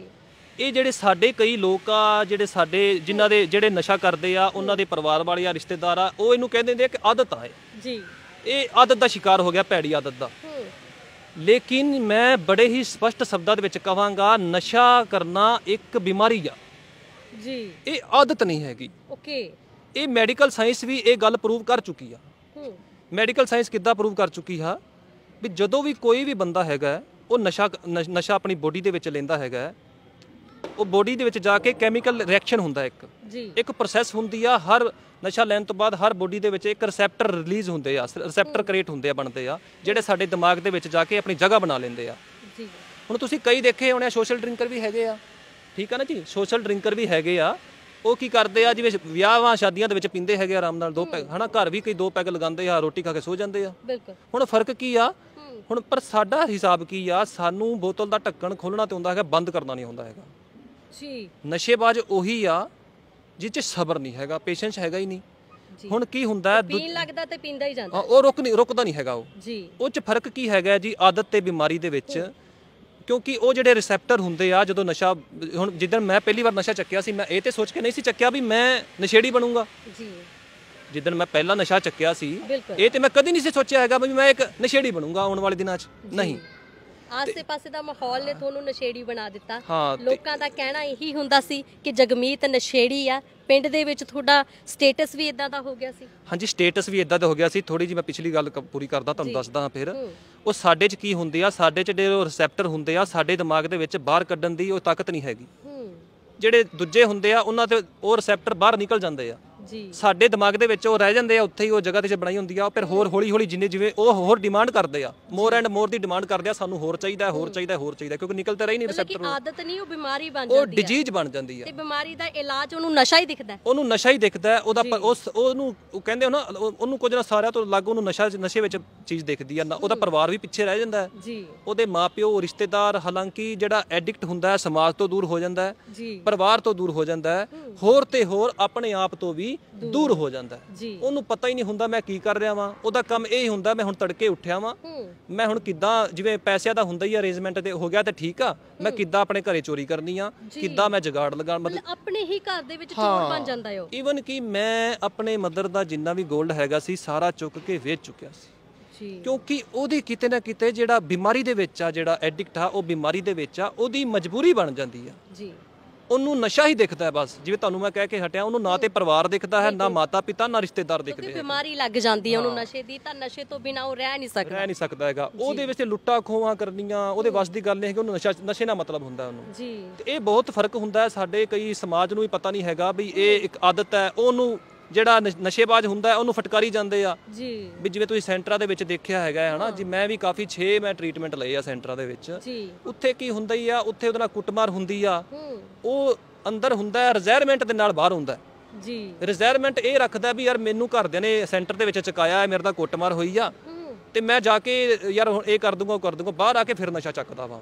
ਜੀ। ਠੀਕ ਆ ਉਹ ਕਿਤੇ ਨਾ ਕਿਤੇ ਜਿਹੜੀ ਰਿਜ਼ਾਇਰਮੈਂਟ ਹੁੰਦੀ ਆ ਬਹੁਤ ਕੱਢਦਾ। ਤਰੀਕਾ ਕੀ ਹੈ ਫਿਰ? ਜੇ ਤੁਸੀਂ ਸੈਂਟਰਾਂ ਦੇ ਵਿੱਚ ਵੀ ਰਹਿ ਕੇ ਆ ਗਏ ਫਿਰ ਵੀ ਆ ਕੇ ਨਸ਼ੇ ਤੇ ਲੱਗ ਜਾਂਦੇ ਸੀ। ਹਾਂਜੀ। ਕੀ ਤਰੀਕਾ ਆ ਫਿਰ ਇਹਨੂੰ ਛੱਡਣ ਦਾ? ਇਹਨੂੰ ਤਰੀਕਾ ਦਾ ਇੱਕ ਹੀ ਹੈ ਜੀ ਤੋਂ ਮੈਂ ਨਿਕਲਿਆ ਵਾਂ। ਮੇਰੇ ਮੈਨੂੰ ਕਾਫੀ 6 ਮੇਰੇ ਟ੍ਰੀਟਮੈਂਟ ਹੋਏ ਆ ਰਿਹੈਬ ਦੇ ਵਿੱਚ। ਪਹਿਲਾਂ ਦੱਸੋ ਕਿੱਥੇ ਕਿੱਥੇ ਤੁਹਾਡੇ ਪੇਰੈਂਟਸ ਨੇ ਤੁਹਾਨੂੰ ਭਰਤੀ ਕਰਵਾ ਦਿੱਤਾ ਵੀ ਇਹ ਨਸ਼ਾ ਛੱਡ ਦੇਵੇ? ਮੇਰਾ ਪਹਿਲਾ ਮੇਰਾ ਜਿਹੜਾ ਟ੍ਰੀਟਮੈਂਟ ਹੋਇਆ ਪਿਪਲੀ ਹਰਿਆਣੇ ਦੇ ਵਿੱਚ। ਜੀ। ਕੁਰਸ਼ੇਤਰ ਦੇ ਪਾਸ ਹੀ ਆ। ਜੀ। ਉੱਥੇ ਨਸ਼ਾ ਮੁਕਤੀ ਕੇਂਦਰ 'ਚ ਮੇਰਾ ਪਹਿਲਾ ਟ੍ਰੀਟਮੈਂਟ ਹੋਇਆ ਜਿਹੜਾ ਦੂਜਾ ਟ੍ਰੀਟਮੈਂਟ ਹੁੰਦਾ ਵਾ ਉੱਤਰ ਪ੍ਰਦੇਸ਼ ਦੇ ਵਿੱਚ ਸ਼ਾਮਲੀ ਮੇਰਠ ਦੇ ਕੋਲ ਆ ਉੱਥੇ ਟ੍ਰੀਟਮੈਂਟ ਹੁੰਦਾ ਜੀ। ਜੀ। ਫਿਰ ਚਾਰ ਟ੍ਰੀਟਮੈਂਟ ਹੁੰਦੇ ਆ ਪਟਿਆਲੇ ਦੇ ਵਿੱਚ। ਜੀ। ਠੀਕ ਆ ਜੀ? ਉੱਥੇ ਟ੍ਰੀਟਮੈਂਟ ਹੁੰਦੇ ਆ ਲੇਕਿਨ ਕਿਆ ਹੁੰਦਾ ਸੀ ਮੈਂ ਬਾਹਰ ਆਂਦਾ ਸੀ ਫਿਰ ਨਸ਼ਾ ਚੱਕ ਲੈਂਦਾ ਸੀ। ਲੋਕ ਤੋਂ ਬਾਜ ਨਹੀਂ ਸੀ ਆਉਂਦੇ। ਨਾ ਨਾ। ਕਿਉਂਕਿ ਜਿਹੜਾ ਹੁਣ ਫਿਰ ਤੁਸੀਂ ਜਿਵੇਂ ਪੁੱਛ ਰਹੇ ਸੀ ਵੀ ਤੁਹਾਨੂੰ ਫਿਰ ਕਿਵੇਂ ਰਾਹਤ ਮਿਲੀ ਹੈ ਬਿਮਾਰੀ ਤੋਂ ਤੁਸੀਂ ਕਿਵੇਂ ਬਾਹਰ ਆ ਪਏ ਹੋ? ਹੁਣ ਜੇ ਜ- ਜਦੋਂ ਇਹ ਹੈ ਹੀ ਇੱਕ ਬਿਮਾਰੀ ਆ ਇਹਦਾ ਮਤਲਬ ਇਹ ਵੀ ਮੈਂ ਆਪਣੇ ਆਪ ਤੇ ਇਹ ਤੋਂ ਰਾਹਤ ਨਹੀਂ ਪਾ ਸਕਦਾ। ਜੀ। ਇਲਾਜ ਤਾਂ ਡਾਕਟਰ ਹੀ ਕਰੇਗਾ। ਹਾਂ ਇਲਾਜ ਡਾਕਟਰ ਕਰੇਗਾ ਜਾਂ ਕੌਣ ਕਰੂਗਾ? ਪਰਮਾਤਮਾ। ਪਰਮਾਤਮਾ ਕਰੇ ਦੋ ਕਰ ਦੇਣਗੇ ਨਾ। ਇਹ ਤੇ ਅਜੇ ਤੇ ਆਦਤ ਹੁੰਦੀ ਫਿਰ ਤੇ ਮੈਂ ਖੁਦ ਛੱਡ ਦਿੰਦਾ। ਹੁਣ ਤੁਹਾਨੂੰ ਕਿਸੇ ਨੇ ਸੁਝਾ- ਸੁਝਾਵ ਦਿੱਤਾ ਕਿ ਤੁਸੀਂ ਨਸ਼ੇ ਨੂੰ ਛੱਡ ਸਕਦੇ ਹੋ ਇਸ ਤਰੀਕੇ ਨਾਲ ਛੱਡੋ? ਹਾਂਜੀ ਬਿਲਕੁਲ ਭੈਣ ਜੀ। ਜੀ। ਮੈਂ ਤੇ ਫਿਰ ਮੈਂ ਤੇ ਜਿਵੇਂ ਹੋਰ ਵੀ ਕੋਈ ਨੌਜਵਾਨ ਮੇਰੇ ਵਰਗੇ ਫਸੇ ਹੋਏ ਆ ਮੈਂ ਉਹਨਾਂ ਨੂੰ ਸਟਰੋਂਗ ਮੈਸੇਜ ਦਊਂਗਾ ਮੀਟਿੰਗਾਂ ਦਾ। ਜੀ। ਹੁਣ ਮੀਟਿੰਗਾਂ ਕੀ ਆ? ਮੀਟਿੰਗਾਂ ਉਹਨਾਂ ਯਾਰ ਉਹ ਲੋਕ ਹੁੰਦੇ ਆ ਜਿਹੜੇ ਖੁਦ ਇਹ ਦਲਦਲ ਦੇ ਵਿੱਚੋਂ ਨਿਕਲ ਚੁੱਕੇ ਨਿਕਲ ਚੁੱਕੇ ਨੇ। ਕਿਸੇ ਨੂੰ 10 ਸਾਲ ਹੋ ਗਿਆ ਦਲਦਲ ਦੇ ਵਿੱਚੋਂ ਨਿਕਲੋ ਕਿਸੇ ਨੂੰ 15 ਸਾਲ ਹੋ ਗਿਆ ਕਿਸੇ ਨੂੰ 20 ਸਾਲ ਹੋ ਗਏ ਆ। ਜੀ। ਉਹਨਾਂ 'ਚ ਜਾ ਕੇ ਜਦੋਂ ਬੈਠਨੇ ਹਾਂ ਉਹ ਆਪਣਾ ਤਜਰਬਾ ਸ਼ੇਅਰ ਕਰਦੇ ਆ ਵੀ ਅਸੀਂ ਐਵੇਂ ਸੀ ਅਸੀਂ ਹੁਣ ਅੱਜ ਪ੍ਰਮਾਤਮਾ ਦੀ ਕਿਰਪਾ ਨਾਲ ਅਸੀਂ ਇਹ ਬਿਮਾਰੀ ਤੋਂ ਰਾਹਤ ਪਾਈ ਹੈ। ਕਿਉਂਕਿ ਜਿਹੜਾ ਇੱਕ ਸੁਧਰਤਾ ਹੋਇਆ ਨਸ਼ੇਬਾਜ਼ ਆ ਜਿਹੜਾ ਚੀਜ਼ ਚੋਂ ਨਿਕਲ ਚੁੱਕਿਆ ਉਹੀ ਜਿਹੜਾ ਇਹ ਚ ਫਸਿਆ ਹੋਏ ਨੇ ਨੌਜਵਾਨ ਉਹਨਾਂ ਨੂੰ ਕੱਢ ਸਕਦਾ। ਤੇ ਮੈਨੂੰ ਵੀ ਐਵੇਂ ਹੀ ਕੱਢਿਆ ਗਿਆ। ਜੀ। ਮੈਨੂੰ ਦੱਸਿਆ ਗਿਆ ਬਿਲਕੁਲ। ਵੀ ਇਹ ਇੱਕ ਬਿਮਾਰੀ ਆ ਕਦੋਂ ਤੁਹਾਨੂੰ ਪਤਾ ਲੱਗਾ ਤੇ ਕਦੋਂ ਤੁਸੀਂ ਆਪਣੇ ਆਪ ਨੂੰ ਬਦਲਣ ਦੀ ਕੋਸ਼ਿਸ਼ ਕੀਤੀ? ਓਕੇ। ਪਿਛਲੇ ਸਾਲ ਮੇਰਾ ਬਦਰ ਆਪਣਾ ਬ੍ਰਦਰ ਐਕਸਪਾਇਰ ਹੁੰਦਾ। ਜੀ। ਡਿਊ ਟੂ ਐਡਿਕਸ਼ਨ ਰੀਜਨ ਜ਼ਿੰਦਗੀ ਦੇ ਵਿੱਚ ਬਹੁਤ ਵੱਡਾ ਲਾਸ ਕਰ ਲਿਆ ਬਹੁਤ ਵੱਡਾ ਲੋਸ ਹੁੰਦਾ ਤੁਸੀਂ ਜੀ। ਤੇ ਮੇਰੇ ਪਿਤਾ ਜੀ ਅਕਸਰ ਗੱਲ ਕਿਆ ਕਰਦੇ ਸੀ? ਵੀ ਜਗਮੀਤ ਜਿਹੜੀਆਂ ਦੂਜੀਆਂ ਸਮੱਸਿਆਵਾਂ ਵਾ ਸਾਰੀਆਂ ਚੱਲ ਜਾਂਦੀਆਂ ਵਾ। ਲੇਕਿਨ ਜਿਹਦਾ ਪੁੱਤ ਨਸ਼ੇਬਾਜ਼ ਆ ਹੂੰ। ਉਹ ਤੂੰ ਦੁਖੀ ਕੋਈ ਮਾਪੇ ਹੋ ਨਹੀਂ ਸਕਦਾ। ਜੀ। ਤੇ ਜਿਹਦੇ ਬਦਕਿਸਮਤੀ ਨਾਲ ਦੋਨੋਂ ਹੀ ਪੁੱਤ ਨਸ਼ੇਬਾਜ਼ ਹੋਣ ਉਹਦਾ ਤੇ ਕੀ ਜੀਣਾ ਹੋ ਗਿਆ? ਬਿਲਕੁਲ। ਉਹ ਕਿਤੇ ਨਾ ਕਿਤੇ ਬੜੀ ਹੀ ਕਰਾਰੀ ਸੱਟ ਵੱਜਦੀ ਆ ਦਿਲ ਦੇ ਉੱਤੇ। ਜੀ। ਤੇ ਬਹੁਤ ਸੱਟ ਵੱਜਦੀ ਆ ਦਿਲ ਦੇ ਉੱਤੇ। ਉਹ ਜਿਹੜਾ ਦਰਦ ਸੀ ਮੇਰੇ ਫਾਦਰ ਸਾਹਿਬ ਦਾ ਜਿਹੜੀ ਵਰਡਿੰਗ ਸੀ ਵੀ ਜਿਹਦੇ ਬਾਕੀ ਸਮੱਸਿਆਵਾਂ ਚੱਲ ਜਾਂਦੀਆਂ ਲੇਕਿਨ ਜਿਹਦੇ ਦੋਵੇਂ ਪੁੱਤ ਨਸ਼ੇਬਾਜ਼ ਹੋਣ ਉਹ ਸਭ ਤੋਂ ਦੁਖੀ ਮਾਪੇ ਜੀ। ਬ੍ਰਦਰ ਐਕਸਪਾਇਰ ਹੁੰਦਾ। ਮਾਂ-ਬਾਪ ਨੂੰ ਤਾਂ ਤੁਸੀਂ ਸੁੱਖ ਦੇਣਾ ਸੀ ਪਰ ਦੋਵਾਂ ਨੇ ਨਸ਼ੇ ਨਾਲ ਲਾ ਕੇ ਬਹੁਤ ਵੱਡਾ ਦੁੱਖ ਦਿੱਤਾ। ਹਾਂਜੀ। ਤੇ ਬ੍ਰਦਰ ਐਕਸਪਾਇਰ ਹੁੰਦਾ ਜੀ ਪਿਛਲੇ ਸਾਲ। ਹੂੰ। ਤੇ ਚਲੋ ਪ੍ਰਮਾਤਮਾ ਦੀ ਮਰਜ਼ੀ ਉਹ ਅਕਾਲ ਪੁਰਖ ਦੀ ਕਿਰਪਾ ਹੁੰਦੀ ਆ ਮੈਨੂੰ ਮੀਟਿੰਗਾਂ ਦਾ ਮੈਸੇਜ ਮਿਲਦਾ ਹੈ। ਜੀ। ਮੈਂ ਕਮਰਿਆਂ ਦੇ ਵਿੱਚ ਜਾਂਦਾ। ਹੂੰ। ਉੱਥੇ ਮੈਂ ਦੇਖਦਾ ਹਾਂ ਜਿਹੜੇ ਨਸ਼ੇ ਨਾਲ ਨਸ਼ੇ ਤੋਂ ਇਹ ਬਿਮਾਰੀ ਤੋਂ ਦੂਰ ਹੋਏ ਸੀ। ਜੀ। ਸਭ ਤੋਂ ਵੱਡੀ ਪ੍ਰੋਬਲਮ ਇਹ ਹੁੰਦੀ ਆ ਵੀ ਐਡਿਕਟ ਨੂੰ ਫੀਲਿੰਗਾਂ ਕੰਟਰੋਲ ਕਰਨੀਆਂ ਨਹੀਂ ਹੁੰਦੀਆਂ ਹੈਗੀਆਂ। ਜੀ। ਉਹਨੂੰ ਥੋੜਾ ਜਿਹਾ ਨੁਕਸਾਨ ਹੋ ਜੇ ਤਾਂ ਉਹਨੂੰ ਨਸ਼ਾ ਚਾਹੀਦਾ ਹੈਗਾ। ਹੂੰ। ਜਾਂ ਵਾਈਫ ਨਾਲ ਝਗੜਾ ਹੋ ਗਿਆ ਤਾਂ ਉਹਦਾ ਦਿਮਾਗ ਨਸ਼ੇ ਵੱਲ ਜਾਂਦਾ ਹੂੰ।